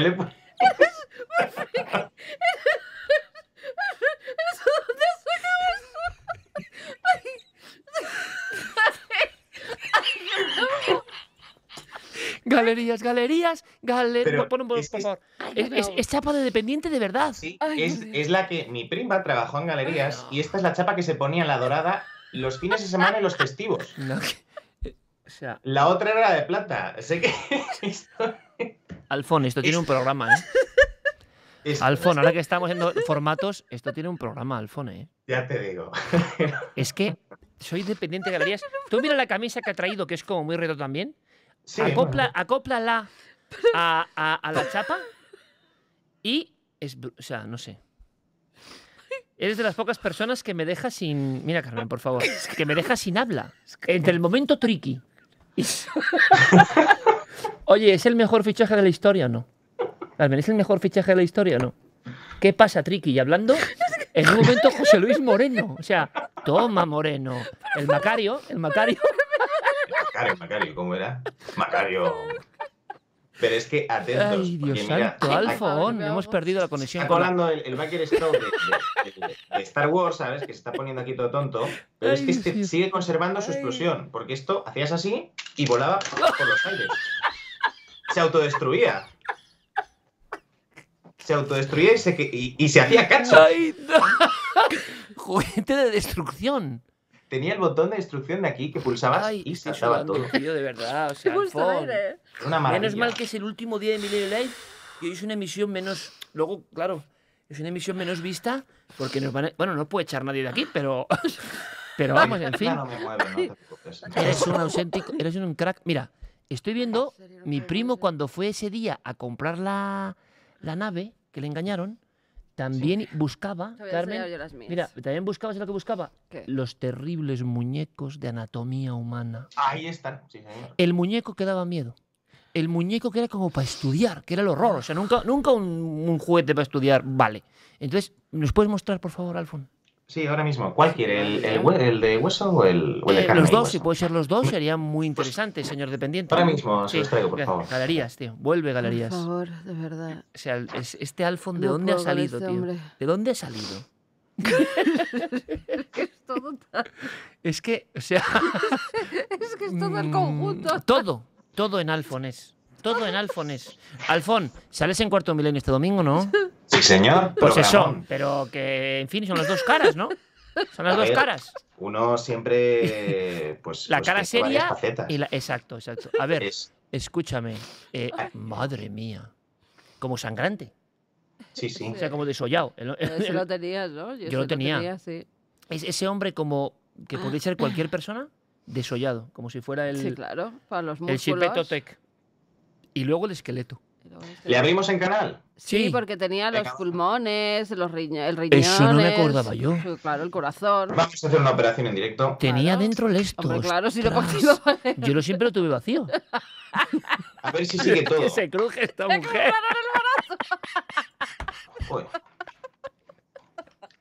Yo siempre lo, solo tenía la carcasa. No, es que me- debe ser que me habían comprado el fascículo 1 Y se acabó. y luego segundo, el 2, Quiero el bazo, ya no. Solo la yo siempre solo vi la carcasa vacía. Siempre. Ay, qué infancia tienes. Siempre. chunga, tú A ver, ostras. Claro, claro. Todo el era eso, mondongo. todo el mondongo. que siempre se perdía el mondongo, claro. Pero se le, se le cae el bonito, la- esternón. las- Se- las tripas ahí todas Oye, revueltas. para un niño no me cabe duda que es precioso y educativo. Para un niño de 6 años, de 7, es maravilloso tener eso. eso en el cuarto, ¿no? Sí, vamos. Ahora, Alfon, una cosa, según decía mi primo, que bueno, no sé, valían fortunas también los primeros de estos. Sí, no. Eh, luego hicieron varios formatos donde eh, esto era transparente Ajá. para que se viera desde fuera cómo eran los orgánulos. Ya. Luego sacaron otros pues con, con la cara incluso que se les veía la, la musculatura, que se le daba más miedo, porque este todavía tiene cara. Sí, El otro era solo. es Pero- verdad, el otro era Pero de tendones. esas anatomías, las que de verdad son chungas son las antiguas antiguas.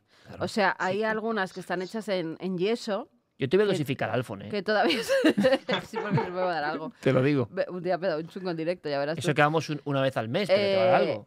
Y, y de repente era, que además en, en- en almonedas y cosas de anticuarios se ven, de repente es un ojo, ¿no? Sí. Y es un ojo con todos los Sí. tendones, Tendones, los sí. músculos que hay alrededor, los tal, una oreja, y la oreja con El- la todo trompa de Eustaquio. Con todo el este, el, el martillo de dentro, no Sí, sé sí, cuántos. sí, sí, y eso sí. sí que eran chungos, chungos. Bueno, y llegó a haber esqueletos que los hacían pasar por mentira y eran de verdad. Ya. Y se llegaron a vender, ¿eh? No, no te estoy oyendo y es porque Skip, ostras, Skip y Bim. ¿En qué tambor guardamos los muñecos? Ese ¿Están sí. Es verdad, Siempre, es verdad. siempre, siempre. Y el redondo, el colón, ¿no? Mira, ahora mismo, y Ariel, mira, ahora mismo, eh, Alfon, por favor, Alfon, haz una cosa para... Mira, hablamos siempre del chamanismo, de Dime. los coordenadas. Remueve un poco el, el- el- el bidón, por favor. Venga, va. Yo estoy seguro que miles de amigos ahora mismo han revivido su infancia sacando los Argan Boys, sacando los Legos, sacando los tentes, sacando los muñecos.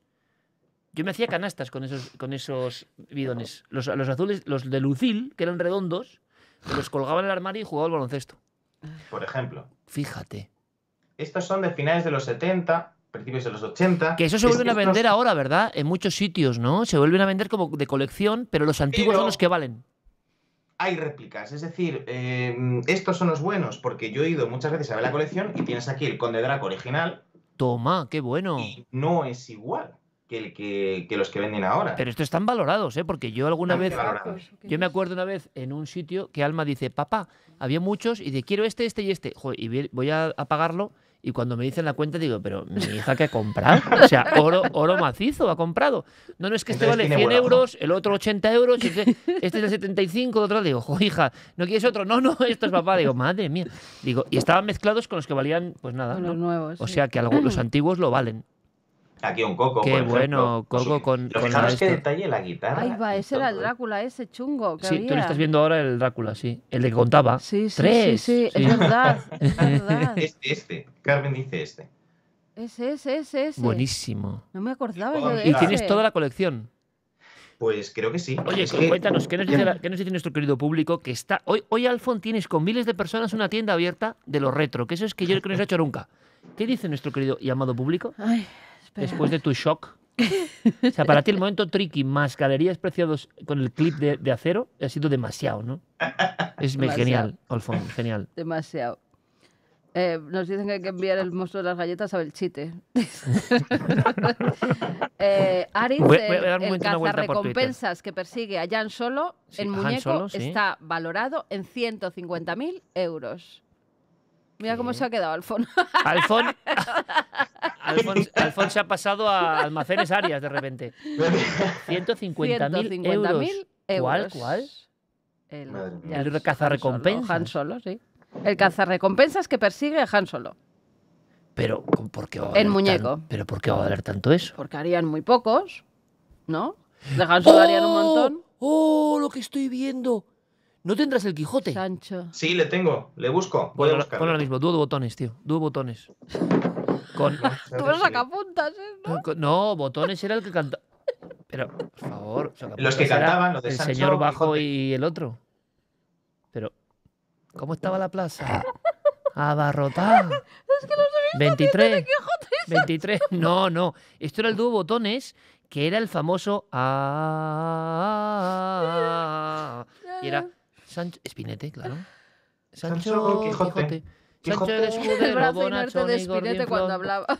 Hostia, el brazo inerte. Es verdad, tenía un brazo adelantado Spinete.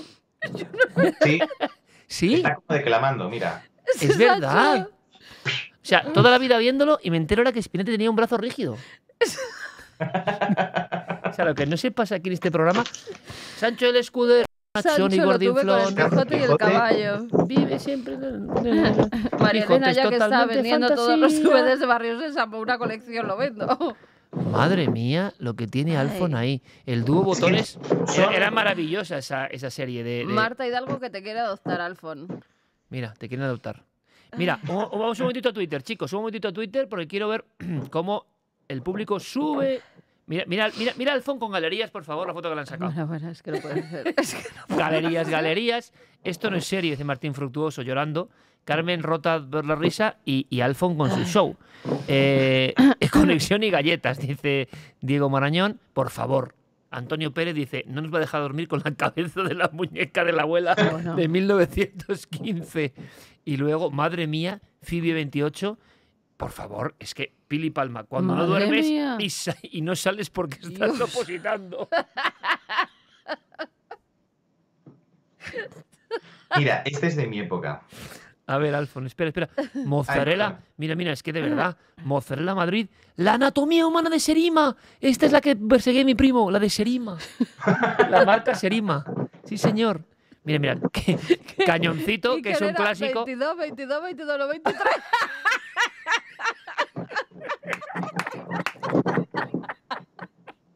Yo he dicho 23. He dicho 23. 23, 23. Y el 22, 22. ¿Y cómo estaba la plaza?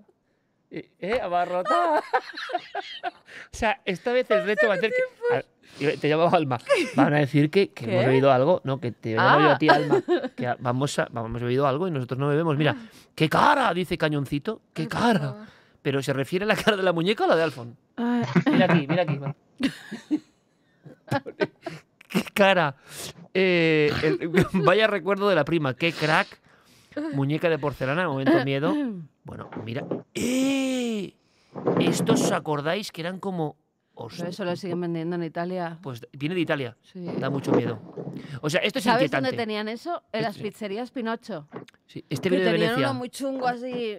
Dice, tiene la, dice Marina Melus, tiene la cabeza torcida porque no hay manera que quepa en ningún estante. Oye, ¿no deberíamos dedicarnos a esto en vez del misterio? Porque, Yo creo que sí. porque gozamos, ¿eh? Gozamos con esto, ¿eh? De verdad te digo.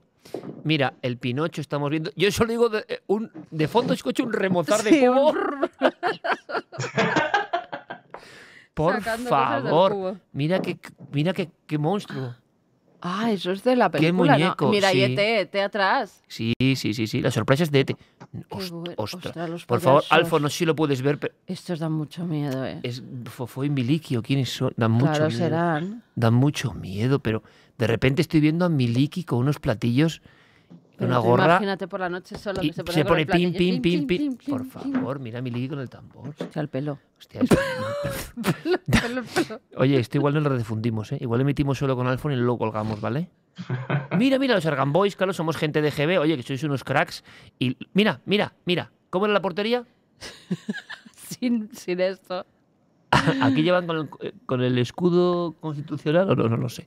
Bueno, Alfon, volvemos. Es maravilloso el mundo del juguete. Y sobre todo es maravilloso, ¿sabes el qué, compañero? Cómo se, cómo se vuelca el público, de verdad te digo, cómo se vuelca aportando sus cosas. Es decir, hablamos de misterio. Nos han dado una, nos han dado una lección de mal de ojo con sus conocimientos impresionantes. La gente puede decir, oye, esto no es ser, no es, a mí me parece fantástico, nos lo pasamos fantástico y estamos haciendo algo que en el fondo es reconectar a un montón de amigos con su propia infancia. Me parece maravilloso. Seguimos, Desde Alfon. luego. Yo opino lo mismo. Además, eh, he de decir que la tribu milenaria es, vamos, mm, impresionante. Eh, la actitud, el trato, la proactividad, todo, todo es, es impresionante. Dice Diego, Alfon, dice Diego, 37 semanas, ni una sola mala cara cuando hemos pedido ayuda o gente. ¿Eso, eso. es así? Eso Es es así. impresionante. Es La verdad que. Y además les voy a dedicar este Isidoro a los. de Hombre, Isidoro, qué mítico. Sí, señor. Los mundos de Yuppie que llegó después de, de Spinette. sé cuál Sí, es, los mundos eh, de da mucho Yuppie. miedo ese- Sí, sí. me acuerdo de la canción, los Mundos de Yuppie. ¿Qué años hablamos? ¿Mediados 80? No, finales. Este Finales será del 80. 88, 89. Ya no me pilla a mí en lo retro. Pero no me acuerdo de Y eso. Spinette es del 85, 86. Claro, claro. Y Isidoro, pues es del 89 también, ¿eh? O sea, Oye. estamos hablando. Pero bueno, si hablamos también de muñecos de goma de otras series, tenemos el mítico Mazinger de goma. Eh, ¿te, te puedes creer que estaba pensando en Mazinger ahora mismo? ¿En y No lo había visto. Te lo ¿Sabes por qué? Porque tienes una especie de robot mecánico ahí al fondo en la esquina, ¿no? Lado Sí, del tren. No, no, pero se llama Es- Mazinger, se llama Mazinger, se llama Mira, Mazinger, por favor. Este es el Mazinger Este es de- el héroe de mi infancia. Este es el héroe de mi infancia. Oye, pero tienes. parece bastante antiguo, ¿no, Alfón?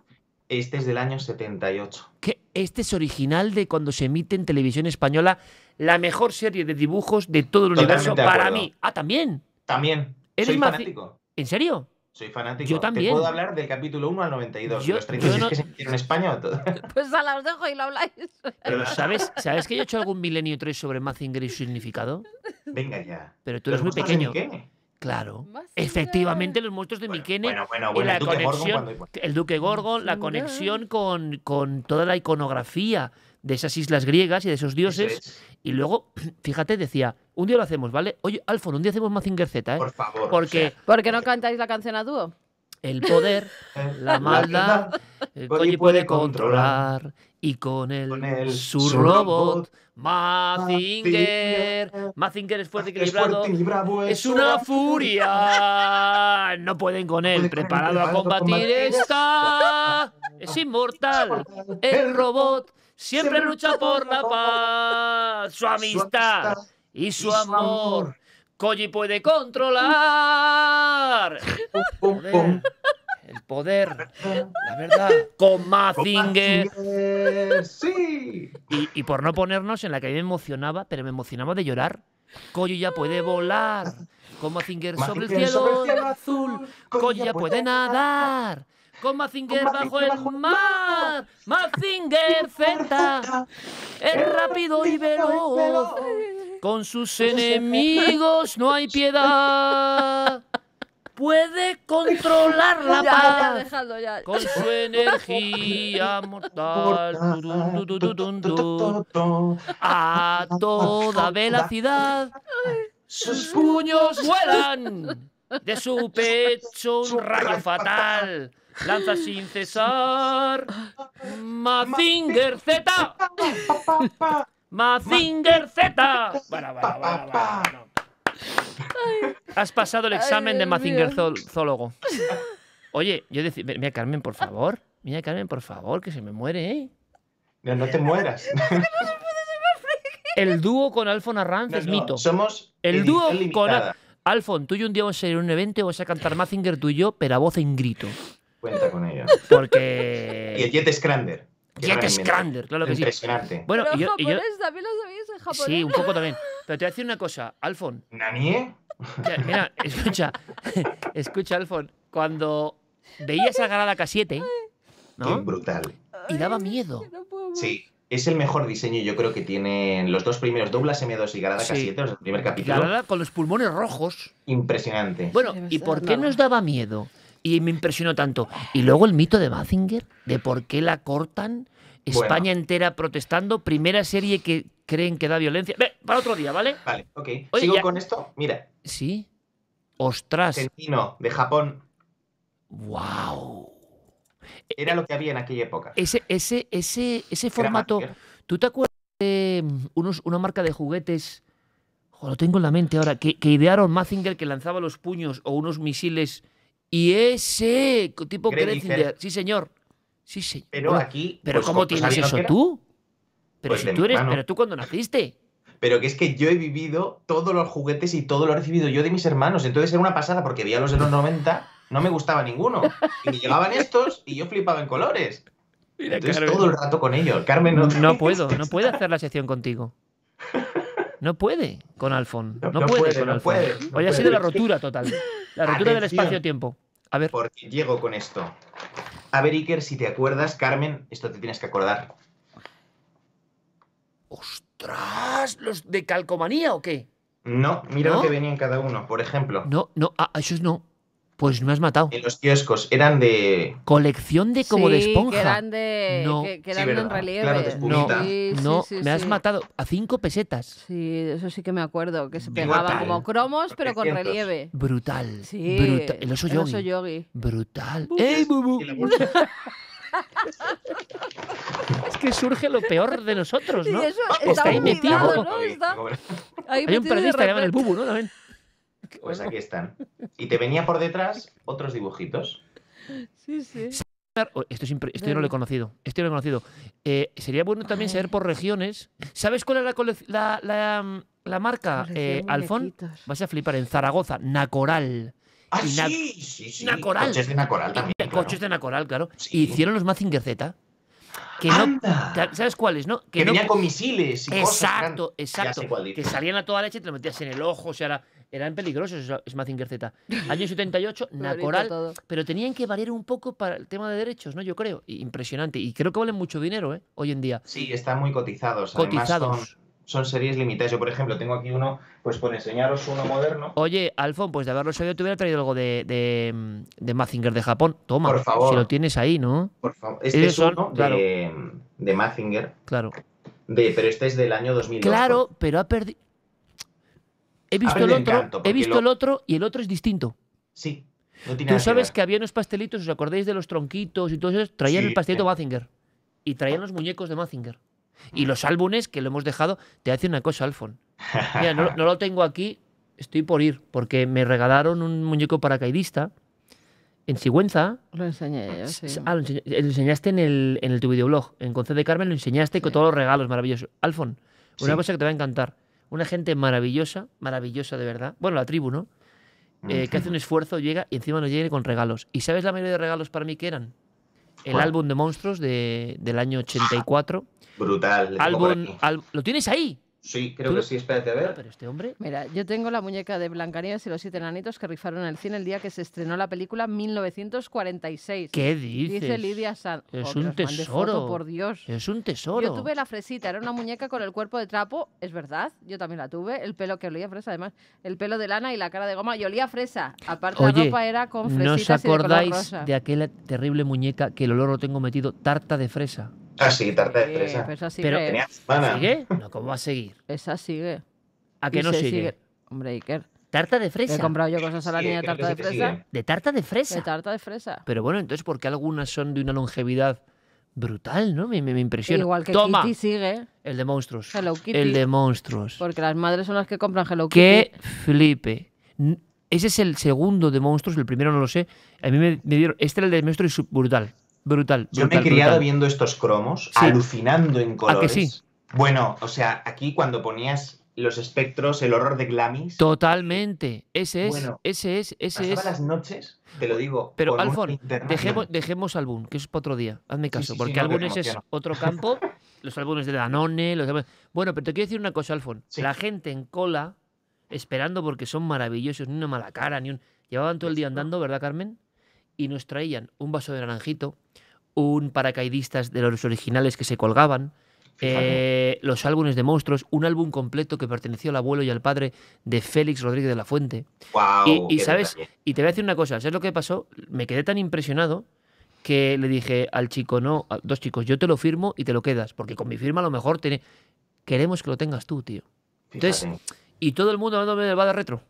Madre mía, la muñeca Mary Poppins del año 63 tiene Loli Picañol. O sea, ya son reliquias. Y hay cosas Pero que son reliquias, ¿no? ¿Ves? Tarta de fresa sigue. Sigue. Claro Qué que bueno. sigue. A ver, Alfonso, siguiente. Esto es Tengo como el mago, cosas. el mago con las sorpresas. Pues mirad, eh, muchas veces los muñequitos los vendían en los kioscos. ¿Sí? Tengo aquí una caja llena entera de muñequitos de kiosco, que muchos jugamos con ellos. De- ¡Ah! Me acabas de matar. Muñequitos de kiosco que en qué ¿Te venían. ¿En qué venían? En Solos. sobres, ¿no? En chicles, en sobres, algunos eran como premios, otros eran, pues mira, este era muy Me difícil de acabas de el matar, tío Sam. tío. Pero tú guardabas todo. ¡Ah! Me acabas de matar. Sí, es que- ¿no? es que me acabas de matar porque yo eso no lo recordaba y ahora mismo me veo en la calle Correría en Vitoria con los muñequitos de kiosco. Me acabas de De la. Warner. No tendrás, ya por pedir, ¿no? Porque esto es, o si alguien manda una foto, había unas cosas que yo compraba con mi primo Sí. que eran los dos muy pequeños, bueno, el más mayor que yo, pero me acuerdo perfectamente en, en la tienda de Manolo, porque siempre había una tienda de Manolo en España, ¿no? Algo parecido, ¿no? Sí. Y un taller de José. Tom, el taller de José. Y un bar Los Primos No, también. la mía era de o los Tina. Zamoranos. ¿Eh? La mía era de Tina. Tina. Bueno, pues ¿os acordáis de una especie de tubos? Lo lanzo aquí, ¿eh? Que eran como de chicles Dunkin, pero eran como unos personajes. Ya me investigarás, Alfon. Vale. Eran como unos personajes y si los veo me da algo, porque es como... me acaba de pasar con los muñecos de kiosco, ¿eh?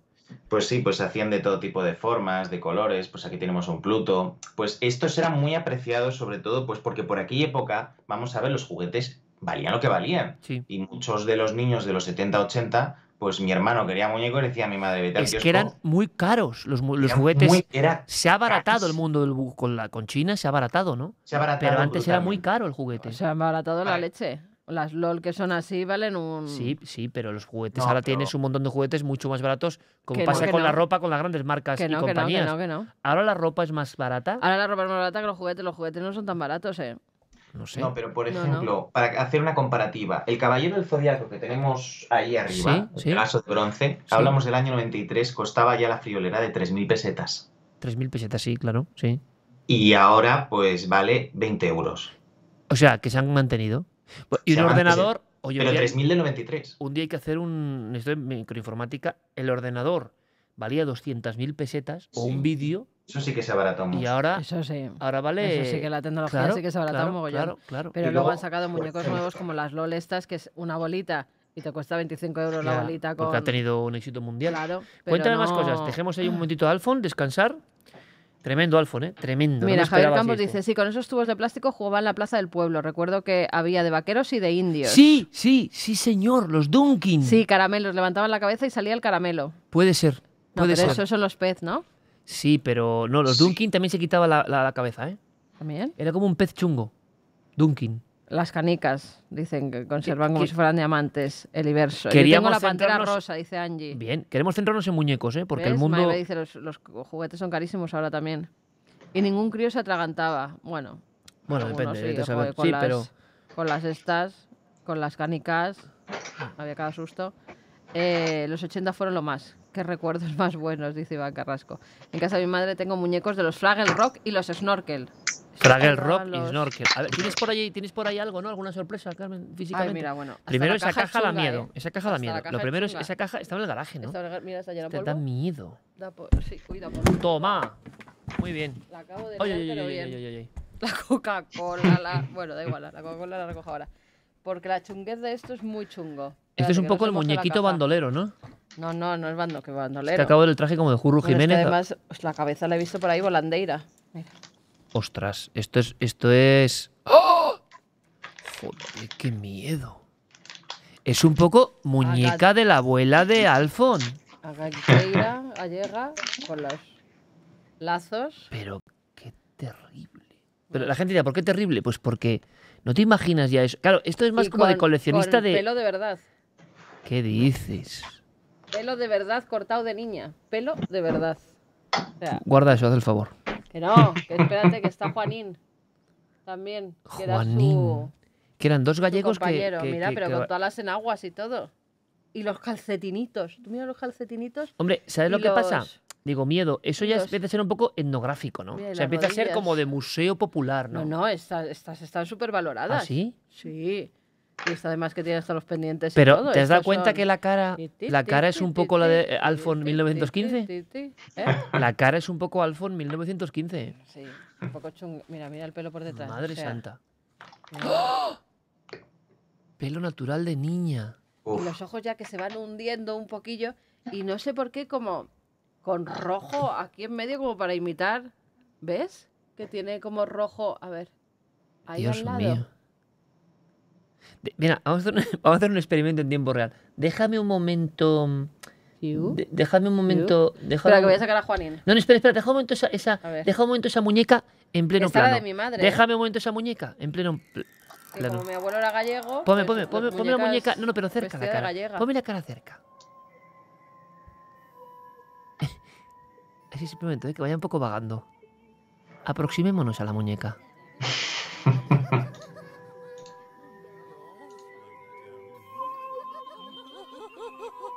Y da miedo. Y da miedo. Mariquita Pérez y Juanín. Y de repente como un escalofrío. Ay, Espérate, que Juanín A está ver, Juanín. descabezado. Juanín decapitado. Sí. Joroba, pero es que, es que lo que hay aquí es más chungo todavía. A ver. Es, que Es como una caja está sarcófago. en un periódico que debe ser de la época Ay, ay, ay, ay, ay, ¿qué me sacas con aquí? un ataúd. ¡Oh! Por favor, enseña la cara de Juanín. Es que No, Juanín en- enseña, enseña. Juanín- y con esta Juanín, música, por mira, favor. Esto porque no nos... Tras el pelo de Juanín. Y que- tiene la cara como de ¡ay, qué flemón. Tiene como un flemón. De flemón. Está un poco tocadillo ahí, Mira, mira, el pobre Juanín. Hay que restaurarlo. Mira el experimento, mira, mira. Eh, eh, eh, acabo de ver los dientes de pico. Enseña los dientes, Juanín. Enseña los dientes, Juanín. ¡Ah! Vampire, Juanín. Voy a poner aquí a Juanín. Juanín está un poco más chungo. O sea, Juanín estos está- cómo nos hemos llevado a la expo del terror. Y, vi- y con su trajecico, Juanín. Dios mío. Yo creo y que si a Juanín despeinado. lo cojo... ¡Uy!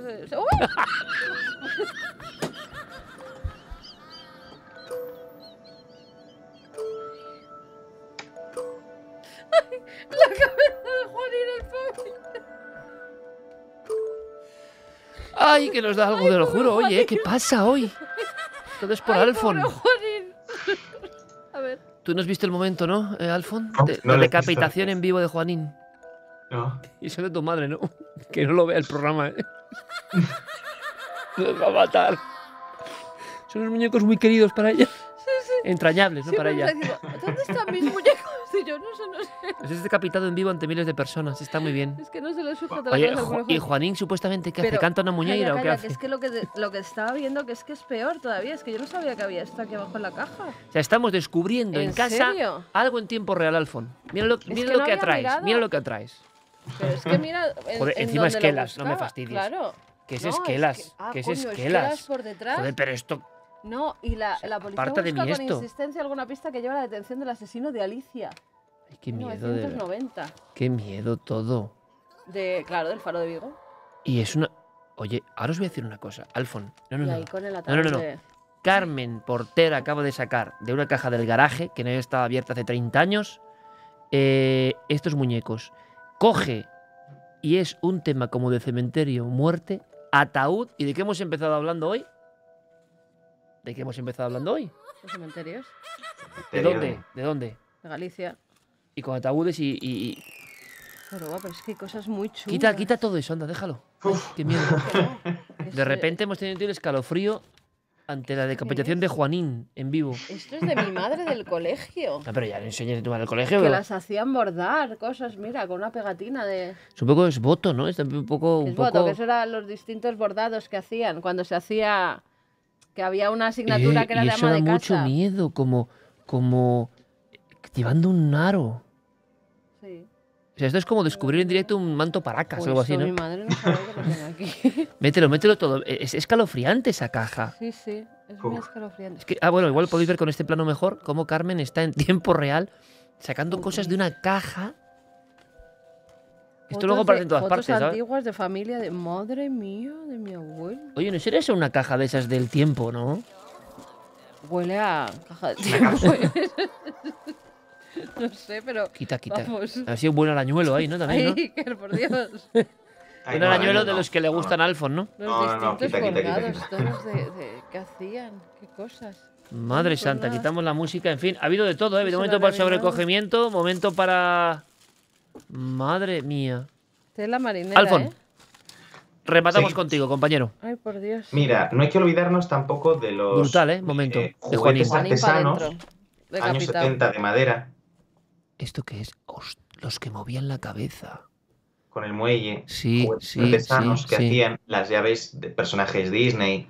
Eh, fijaros qué goofy tan espectacular. Pero- ah, el mundo de la madera un poco así medio hippie de los 70. Claro, De- típico de em, juguetería educativa, eso es. pero que da miedo también. Pues es que respeto, ese, ese goofy, ese goofy te lo encuentras y parece vudú. Mira el pato Donald. Y el pato. Pato Donald. Y, y el dálmata está musculado, parece El que va a un gimnasio. El pato Donald. y el- Es- Enséñame un poco la cara del, del dálmata. O sea, eso es Valladolid, años 70, ¿no? Esto es Valladolid, años Bien, 70. todo concentrado ahí, en esa cara. Impresionante, Tenemos otro burrito. Y luego no nos olvidemos pues de míticos... Da miedo todo, da miedo Sí, todo. sí, ¿Por es- qué da miedo? No sé. Pero no nos olvidemos del típico muñequín que, fu- el, el- el que fuma. El, ¿El niño que fuma? el niño que fuma se pone un chisme ardiendo y era como un niño que fumaba. Ense- eh, Vamos a ver, enséñame esto un momento. Eduquemos a la infancia, ¿no? Este es. Eh, Esto lo vendían en, en las tiendas de bromas y todo esto. Pues ya ves, los niños de aquella época, pues A el fumar. muñequín fumando. Pásame el, pásame el trujas, decía el niño. Vamos a ver, vamos a ver. El tema es el siguiente. Es- el tema es el siguiente. O sea, Eh, todo lo políticamente exacto. correcto de ahora a tomar por Exacto, saco en exacto. la época. Oye, Alfón, un día, un día vamos a hacer un retro de todo lo que sería imposible en la mente Ah. de hoy. Un niño que fuma con ocho años. Ah, bueno, bueno, invi- inviable. Perfecto, perfecto. Inviable. Y yo os voy a hacer un- una cosa, voy a hacer un experimento con vosotros, que lo he puesto aquí. Qué grande eres, Alfon, de verdad te digo, ya. ¿eh? Si mira el micro, vamos a ver. ¿Qué pasó con el cable? Porque en galería se me ha quedado muy pequeña. Voy a pasar el cable por encima de la pierna y ya está, ya está. Esto, Eh, esto Son no- soluciones no, galerías. no, esto Soluciones galerías. Esto no lo saquéis, dice Alfon. saca- se va, se va, se va, Alfon. ¿A dónde vas? Es- Vamos a simular aquí una, una batalla. Una batalla, voy a poner yo un poquito de música también. A ver, a ver. Una batalla naval. Y vamos a ir, pues os voy a enseñar otros muñecos tipos típicos. ¡Oh! ¡Toma ya! Los clics de la época. El barco pirata. Batalla naval. Brutal. Brutal. Lo has estado colocando así, Alfon. Te has tirado horas. Impresionante. Impresionante. ¿Qué diferencia hay entre esos clics y los de hoy? ¿Esos son de época? Estos son de No, no se oye. No. O sea, Estos son, estos son de época. Esto es el primer barco pirata, que es el barco pirata de, de Famóvil, que no hay que confundir. Y además le distinguiremos porque este claro, barco Famóvil y Playmobil es diferente. pirata- Claro, es decir, Famóvil, Claro. Famóvil era eh, la licencia que tenía famosa para hacer los clics. Y se distingue. Por eso Famóvil. No tenía ni Claro. idea. Entonces, por ejemplo, el barco pirata este es muy difícil de encontrar en buen estado. El nuestro, vamos a ver, todos los juguetes que os enseñamos están jugados hasta la saciedad, pero con respeto. Entonces, pues hay partes que están rotas y partes que están mejor que otras. Entonces, este barco, por ejemplo, que vemos, esta bandera pirata es de la primera serie, que es en la calavera entera. La segunda serie saldrá la calavera con un pañuelo. Y luego, por ejemplo, distinguimos un clic. Vamos aquí al capitán a cogerle un segundo. Distinguimos un clic de Famóvil Sí. que es este de aquí. ¿Por qué? Porque las manos no se le mueven. Toma ya. Entonces son manos fijas. Y el clic de Playmobil, el clásico es el que se mueve. Voy a volver a poner la cámara. Bueno, o si no, también. Es que tengo preparado aquí otra cosa, pero esto ya para el siguiente, para que la gente vea un poquito lo que hay detrás. Detrás de la cortina. Muy, muy ochentero también esa cortina, ¿eh, Alfon?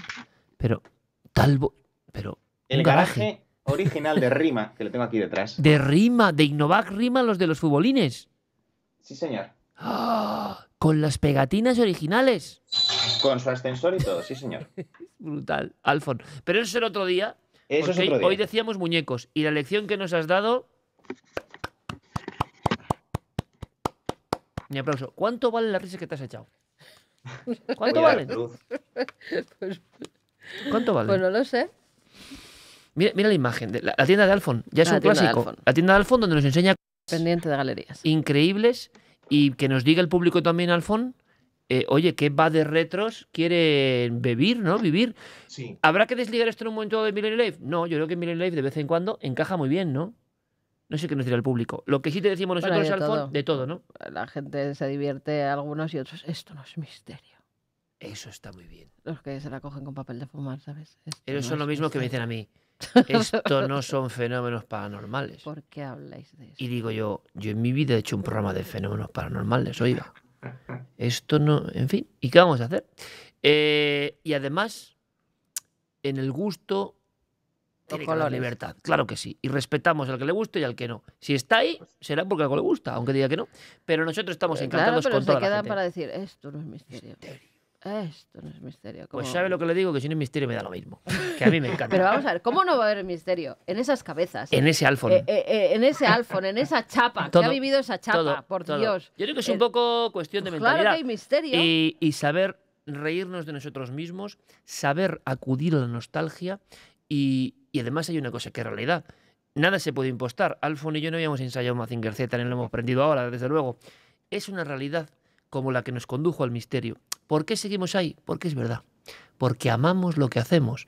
Y cualquier cosa, la verdad es que la amamos y queremos transmitir ese rollo increíble y si no, no lo haríamos.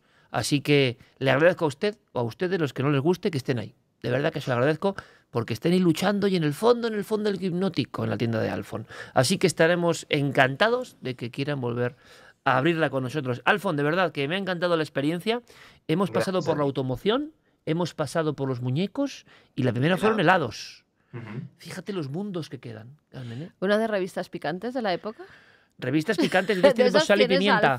Sal y pimienta. No me dejan comprarlas. Claro, claro, es que eso era. No todavía, ¿y tú pero- por qué de repente revistas picantes? No sé. Sal y porque- pimienta, pero por- porque- ah, políticamente. No, pornográficas. Claro, pornográficas no, no. pornográficas no eran, no eran como políticamente incorrectas. Sí, sí. Bueno, alguna tetilla salía, pero Sí. no nada más. Y las ves por ahora allí. Y me imagino que tienes que impactarte con el tema de lo que se publicaba. Lo, lo digo por los periódicos. Como he sacado el periódico, hacer tandas Y- de y- las del misterio, pero las del y- misterio es que las tenemos muy vistas nosotros. Pero ¿sabes sobre todo lo impresionante? las de- Lo impresionante ¿sabes cuál es?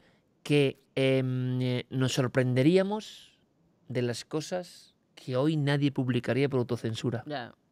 Y es una buena lección, ¿no? Todas. ¿Tenemos más libertad o menos que antes? Es una buena lección. Oye, Alfon Arranz, querido amigo, ¿eso qué es? Esto es otro muñeco de la época. Qué terrible, con barretina.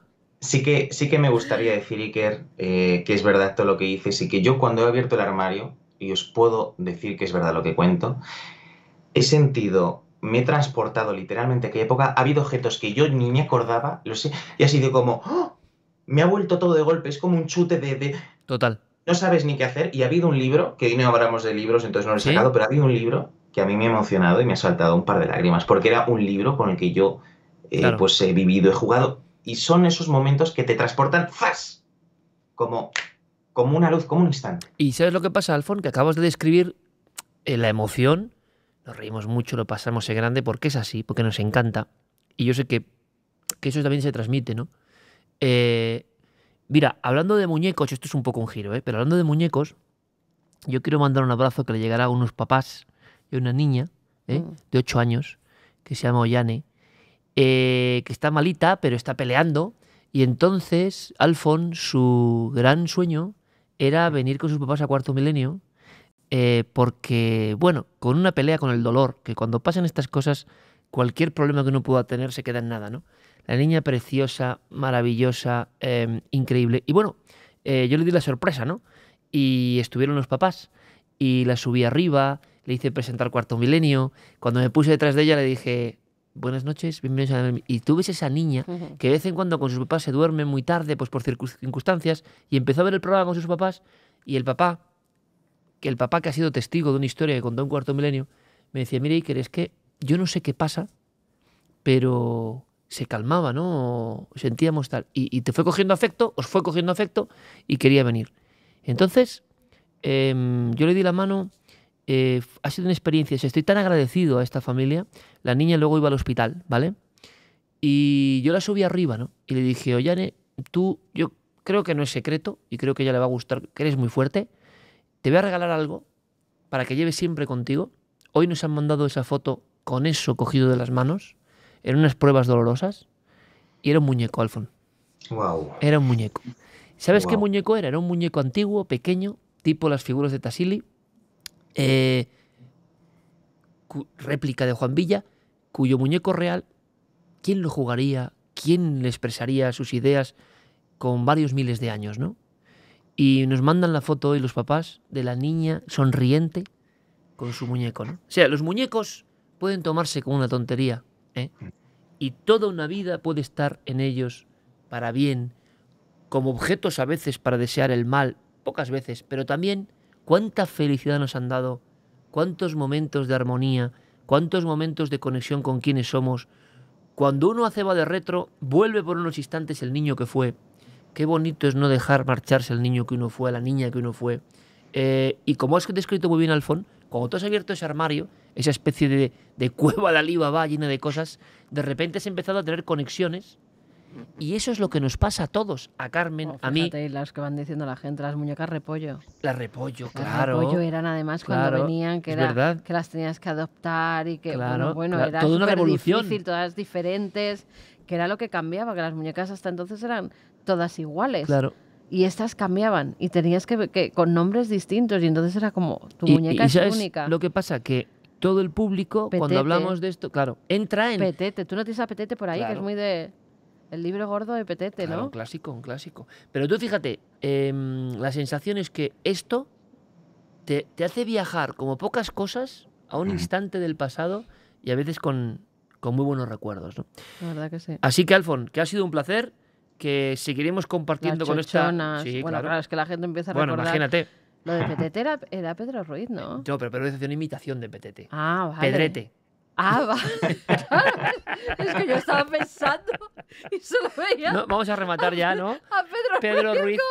Qué buena estás, Carolina. Pero ese no era el libro de Petete, que eran unos dibujos. O sea, cuando, cuando Pedro Ruiz rompe la barrera también del sonido, ¿no? Que yo le Cuando don Pedro mucho- Ruiz rompe la barrera del sonido Yo le conocí muchos años después y, a Pedro y sí, solo y se- veía. Petete. Sí, sí, sí, sí, auténtico. haciendo de. Y, y se queda en la memoria colectiva. ¿Cómo estás, Carolina? Bueno, mejor, Pero mejor fíjate, acabar con risas. no sabía que era de eso. Mejor sí, es acabar con risas. Don Alfonso Arranz, nuestro abrazo y seguiremos investigando el caso que traes en Cuarto Milenio es brutal, con Sí. toda la pasión y seguiremos hundiéndonos en la memoria colectiva con el Bade Retro. Que te deseamos todo lo mejor, amigo. Muchas gracias, un placer. Eh, despedimos Milenio Life, ¿eh? Despides Milenio Life, amigo. Ah, bueno, pues oye, que comamos muchos helados, por Es- favor. eh, sí, señor. Un abrazo muy grande, Alfon. Pásalo muy bien. Gracias. Nos vemos el, con Cuarto Milenio, amigo. Besos, Alfon. Un abrazo. En verano recauda cosas así. Exacto, exacto. ¿eh? Ve recopilando, ¿eh? Ve Ve por los recopilando. pueblos por ahí buscando jugueterías. Va con el tal botorizón. ¿Quién Eso, tiene juguetes? No llega. Bueno, Un abrazo, Alfon. Un beso. La frase del año para mí, Milenio es cuál es. La frase del año, la gente, la gente no, nuestra querida tribu está recopilando momentos, historias, ¿no? Ahora comentaremos algunos, ¿no, Carmen? Para mí, ¿sabes cuál es la, la- la frase del año de Milen Life? ¿Cuál? Alfon va en el tal botorizón, tú ves la noche y dices, ¿Dónde dice, dice, no, voy por un camino que no sé a dónde lleva. Eso es un poco la filosofía, nunca mejor dicho, de este programa. ¿Sabes cómo empieza? Nunca cómo acaba. Un abrazo. Un Alfon. abrazo, Muchas gracias noches. por tu compañía y por tantos buenísimos momentos de Milen Loaiz. Eh, de verdad que este chico es tremendo, ¿eh? De verdad. Esto no sale porque sí para epatar, ¿eh? ¿El qué? Pues que tú puedes. Es lo mismo del misterio, lo que hemos hablado mil veces. que, ah, este se la ha montado con el misterio, pero este en el fondo no cree. este- Este se ve que es un coleccionista que lo tiene, vamos. Pero, eh. Si no, no, no. ¿A que no? Si no, es imposible. Porque Sí, no, no es precisamente alguien que se haga pasar por. No. Y el mérito que tiene Alfon, claro, como, como hermano menor, digamos, es que ir recopilando eso. El pobre. Porque si no, no le toca. Todo eh, usado ya. Todo usado. Todo mm, derretido. Mira, vamos a hacer un recopilatorio de esos momentos ¿no? Bueno, que se han sí, quedado en la. pues antes de eso, ¿vale? A ver, Porque es- hemos hablado de Belmez. Es un momentazo de Miren Live de verdad. Ah, vale, venga. Vamos a verlo y tú me cuentas ahora qué momento has elegido la Venga, tribu. ¿Te vale, parece? que sigan comentando los, los Claro, momentos que los elegido mejores la momentos Venga. de la tribu. Mira, eh, lo tengo aquí. eh, con, ese, con ese estoicismo belmorense, ¿no? Porque, ¿eh? Una visitita a la Casa de las Caras. Tú fíjate lo que es Live. A estas horas, a las 3 y 1. Vamos Madre mía.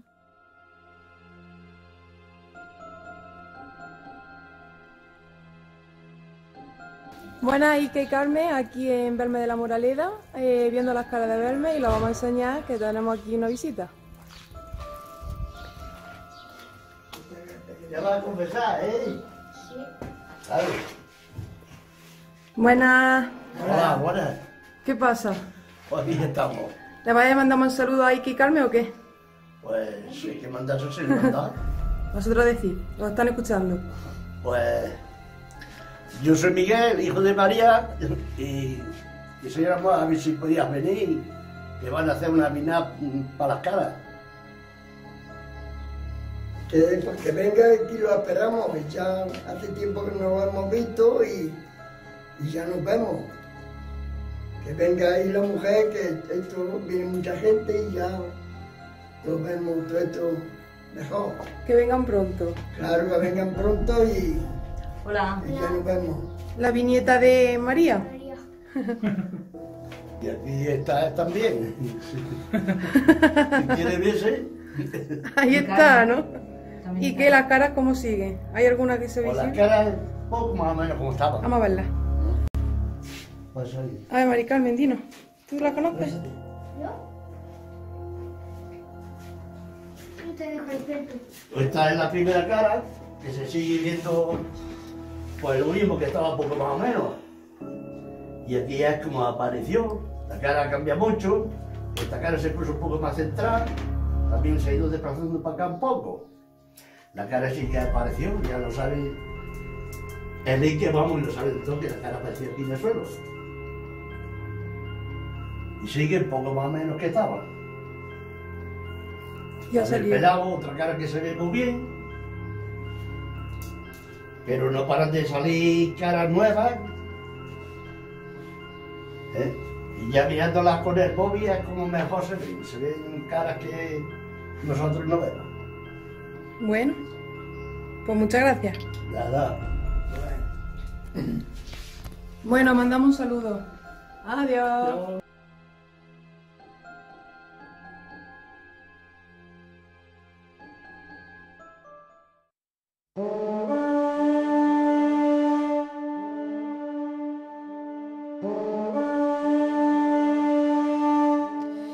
Así sobre la oscuridad suena de nuevo Lion Man, casi como despedida, como llamada final a la tribu convocándola.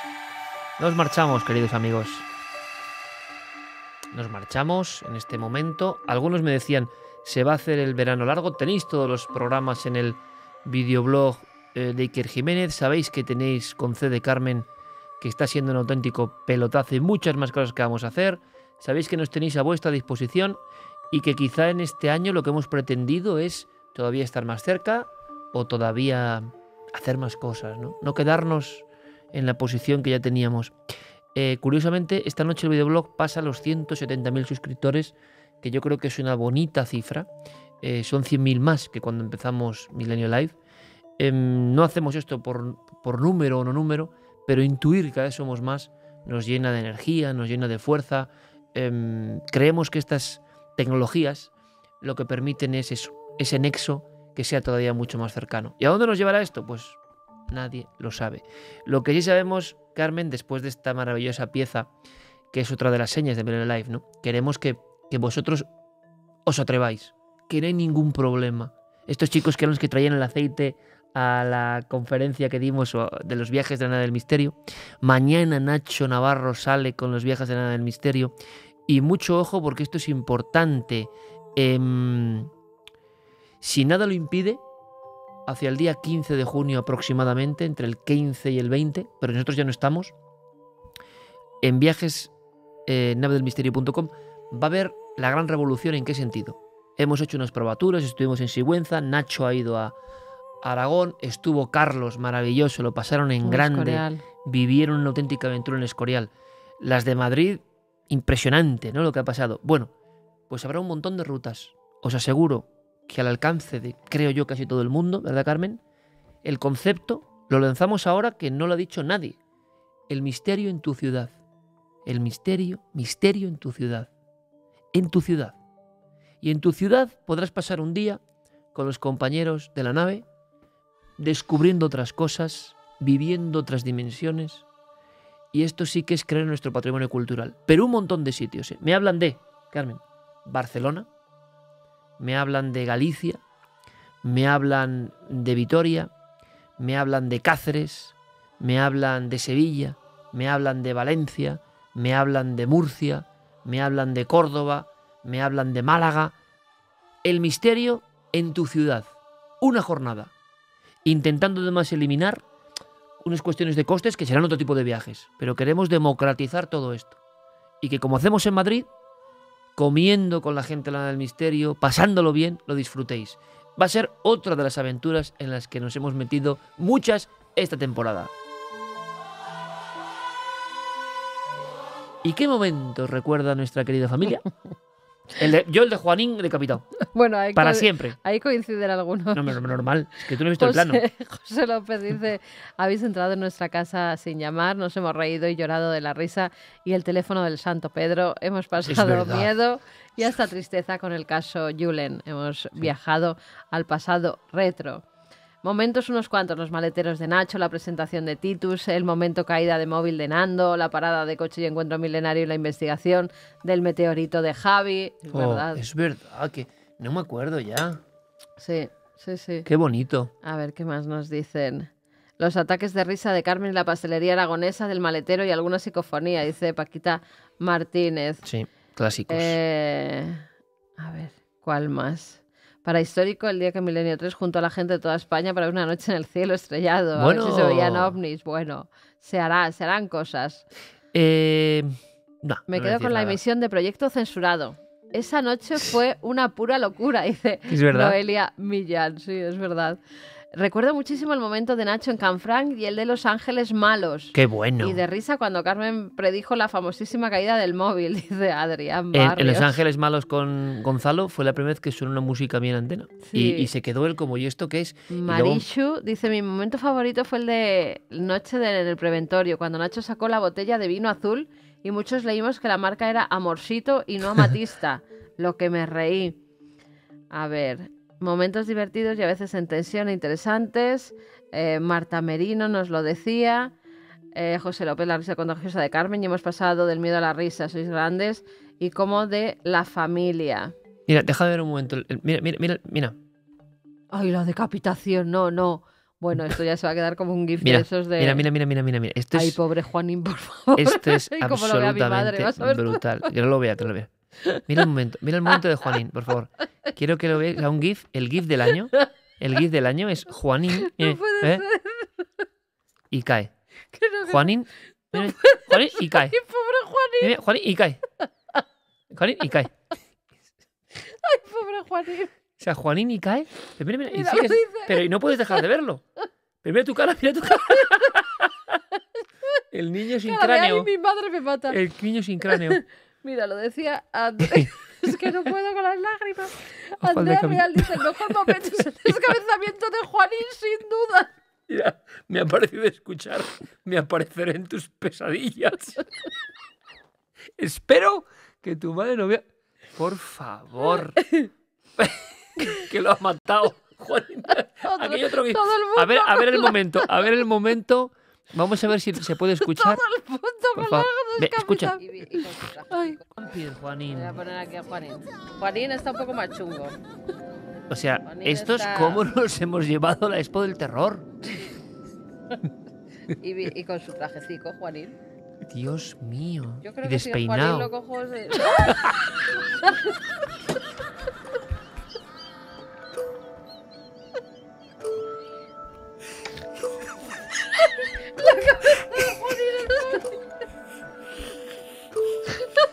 Juanín Juanín Ay, lo. Te lo juro, A oye, ¿qué partir de pasa esta- hoy? A partir de esta noche a Vampir Juanín lo Juanín. relitan.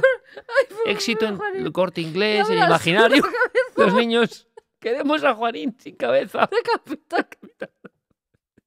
Y, y la caja que sea Juanín, el gallego decapitado. Y le das la vuelta a la caja y sale un sepulcro. Te viene con la hoja del periódico de tumba. De verdad. es, que es que todo el conjunto de esa caja es Un funerario todo. Es que de verdad. Solo puede pasar en esta casa Es eso. todo muy... Ay, A ver, ¿dónde se acaba eso? Venga. Ángel dice, Lando en la cueva del hermano Pedro. Momento el teléfono caído. Qué risas en Tenerife. Cuando se cayó el móvil creía que me daba algo de las risas y os echaremos de menos estos viernes de verano, dice Yolanda Álvarez. Ama Bella, es uno de los mejores momentos es cuando se le calentó el móvil a Carmen y lo metió en la nevera de la Coca-Cola y Es luego que- le puso un bote de Coca-Cola pegado al móvil. ¿Sabes que hay muchas cosas que no me acuerdo? O sea, Pues- se las recuerdan, fatal. sí. Las recuerdan, sí, pero Para mí, sin lugar a dudas, el cementerio de animales, dice Angie Godoy. A ver. eh, hoy he visto colgado en mi muro de Facebook el momento de Lando en la cueva del hermano Pedro. Momento, Pues Juanín- Teléfono caído. Te digo una cosa, Gran ¿eh? momento cuando se cae el móvil y aparece sobre el brazo en búsqueda del teléfono, dice Ana Vega. El, el recogedor. Para mí uno de los mejores momentos es el programa de Canfranc, dice Emma Domínguez. A ver, ¿cuál más? Oye, Es que 3 y hay 12, muchos. tenemos que irnos. Sí, porque además yo por la mañana me tengo que levantar a hacer no sé Venga. cuántas tortillas de Patata. patatas. que es que ya Muy divertido. leche. O sea, voy a hacer... Con Juanín. Puedes tener a Juanín al lado. Es que, Encima de la tortilla de patatas la cabeza de Juanín. no me quiero imaginar lo que con lo creativa que es nuestra gente. Cómics de Juanín. no No, hombre. Kaoru Kino, seguro que a hacer un cómic de Joaquín. verdad, no puede la ser. gente va a empezar a hacer animaciones de Juanín. O sea, Juanín estaba descatalogado hace cuánto tiempo? Siglos, ¿no? Vale. Juanín ha vuelto. a la- Oye, Juanín, había que meter Juanín Trending Topic, puede ser una idea. Bueno, em, de verdad que ha sido un auténtico placer. Nos lo hemos pasado en grande. No eres el único que pierdes la cabeza por Carmen. Mira, Jo- Joaquín, Juanín. Oye, ¿qué le dices a la tribu para despedirnos? Ay, pues que me he reído mucho con ellos, que, que me encanta todos los comentarios que, que hacen y... Mira, estabas poniendo también, es que claro, Juanín. el nabo del misterio. Ah, también, qué bueno, con Rafa Balaguer. Rafa Balaguer. Brutal. Brutal, brutal. Es que ha habido- Yo no, que, ha no creo que haya un programa de misterio que dé más risa, ¿eh? Ay, no lo sé. No lo No. sé, pero yo me lo paso muy bien, la verdad. y eso, que, que muy buenos momentos, que ya sí que es verdad que por circunstancias que se han ido viendo todas las semanas, porque yo creo que somos muy transparentes, necesitamos ya respirar un poco. Y que descansen de nosotros, ¿no? Pues también. También, que oye, también viene bien. ¿no? Que damos mucho la paliza ya, ¿eh?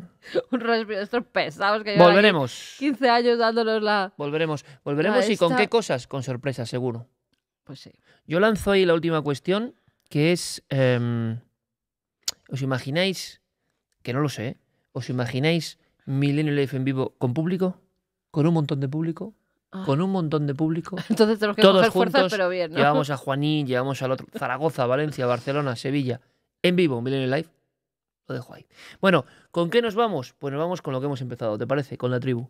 Con la tribu y con su entusiasmo. Nosotros también podríamos tener una hilera de saludos que nos han marcado, pero es que nos han marcado todos. Esta semana empezamos con un saludo especial de ya algunos amigos que son la pura tribu que, que, que- defienden en todas partes. Y eh, la tribu sois todos y todos cada semana. A mí me parece una cosa que, que no sé tampoco cómo inventamos, pero que me pareció maravillosa, que Diego ha ido recopilando, Guillermo ayudándonos, bueno, todo el equipo, ¿no? Y, y, mm, los saludos son algo que a mí me parece fascinante. Y como hablábamos de la energía, yo siempre que me pongo aquí, que estoy eh, acabando, pues que es un poco estresante llevar esto, no es como la televisión donde tú más o menos está muy bien y hay un montón de gente trabajando. Aquí somos nosotros, ¿no? Con la ayuda de Diego, de Guillermo. Pero aquí estamos nosotros con todos estos aparatajes y, ya sabéis las noches que hemos vivido. Bueno, pues cuando veo los saludos es como si dijera, joder, todo merece la pena, ¿no? Qué maravilla las personas muchas veces en lugares contándonos, hey, esto merece la pena. Saludos, gracias por lo que hacéis. eh, somos la tribu. Pues eso, tribu. Que ha sido un auténtico placer, que ha sido un auténtico orgullo, que creo que hemos procurado estar a vuestra altura, que nos hemos reinventado gracias a vosotros, que seguramente vosotros habéis tenido también experiencias, sensaciones de lo más diverso. La coctelera que contaba Carmen en el fondo es cuántas cosas que no esperábamos. Y cuando uno lleva como nosotros 15 años en la radio y 14 en la televisión, todas las semanas, llevamos emitiendo todas las semanas de nuestra vida de los últimos 18 años. Creo que no hemos faltado. Creo que hemos intentado siempre, con errores y aciertos, por supuestísimo, eh, daros lo mejor que sabíamos o creíamos en ese momento. Creo que hemos sido personas que nunca han ido de maestros de nada, sino con vosotros, a asombrarnos. El mundo ha cambiado muchísimo desde junio del 2002 que empezábamos en la cadena SER. Antes de ese 2002 ya llevábamos trabajando mucho tiempo, pero de alguna manera en aquel junio del 2002, hace ahora, hace ahora 17 años, empezamos a tener un compromiso con un montón de personas. Unos prefieren la radio, por supuesto, otros la tele, otros esto, otros... Siempre hemos querido eh, no dormirnos y seguir hilados a una pasión. Si también lo sentís, es que sois de la tribu. La tribu va a crecer, la tribu va a continuar y la tribu va a tener muchas experiencias. Este año solo ha sido el principio. Milenio Live creo que ha sido un sueño convertido en realidad que ha merecido la pena. ¿Os ha merecido la pena? Hasta pronto amigos. Milenio Live. Volveremos. Descansar y ser felices.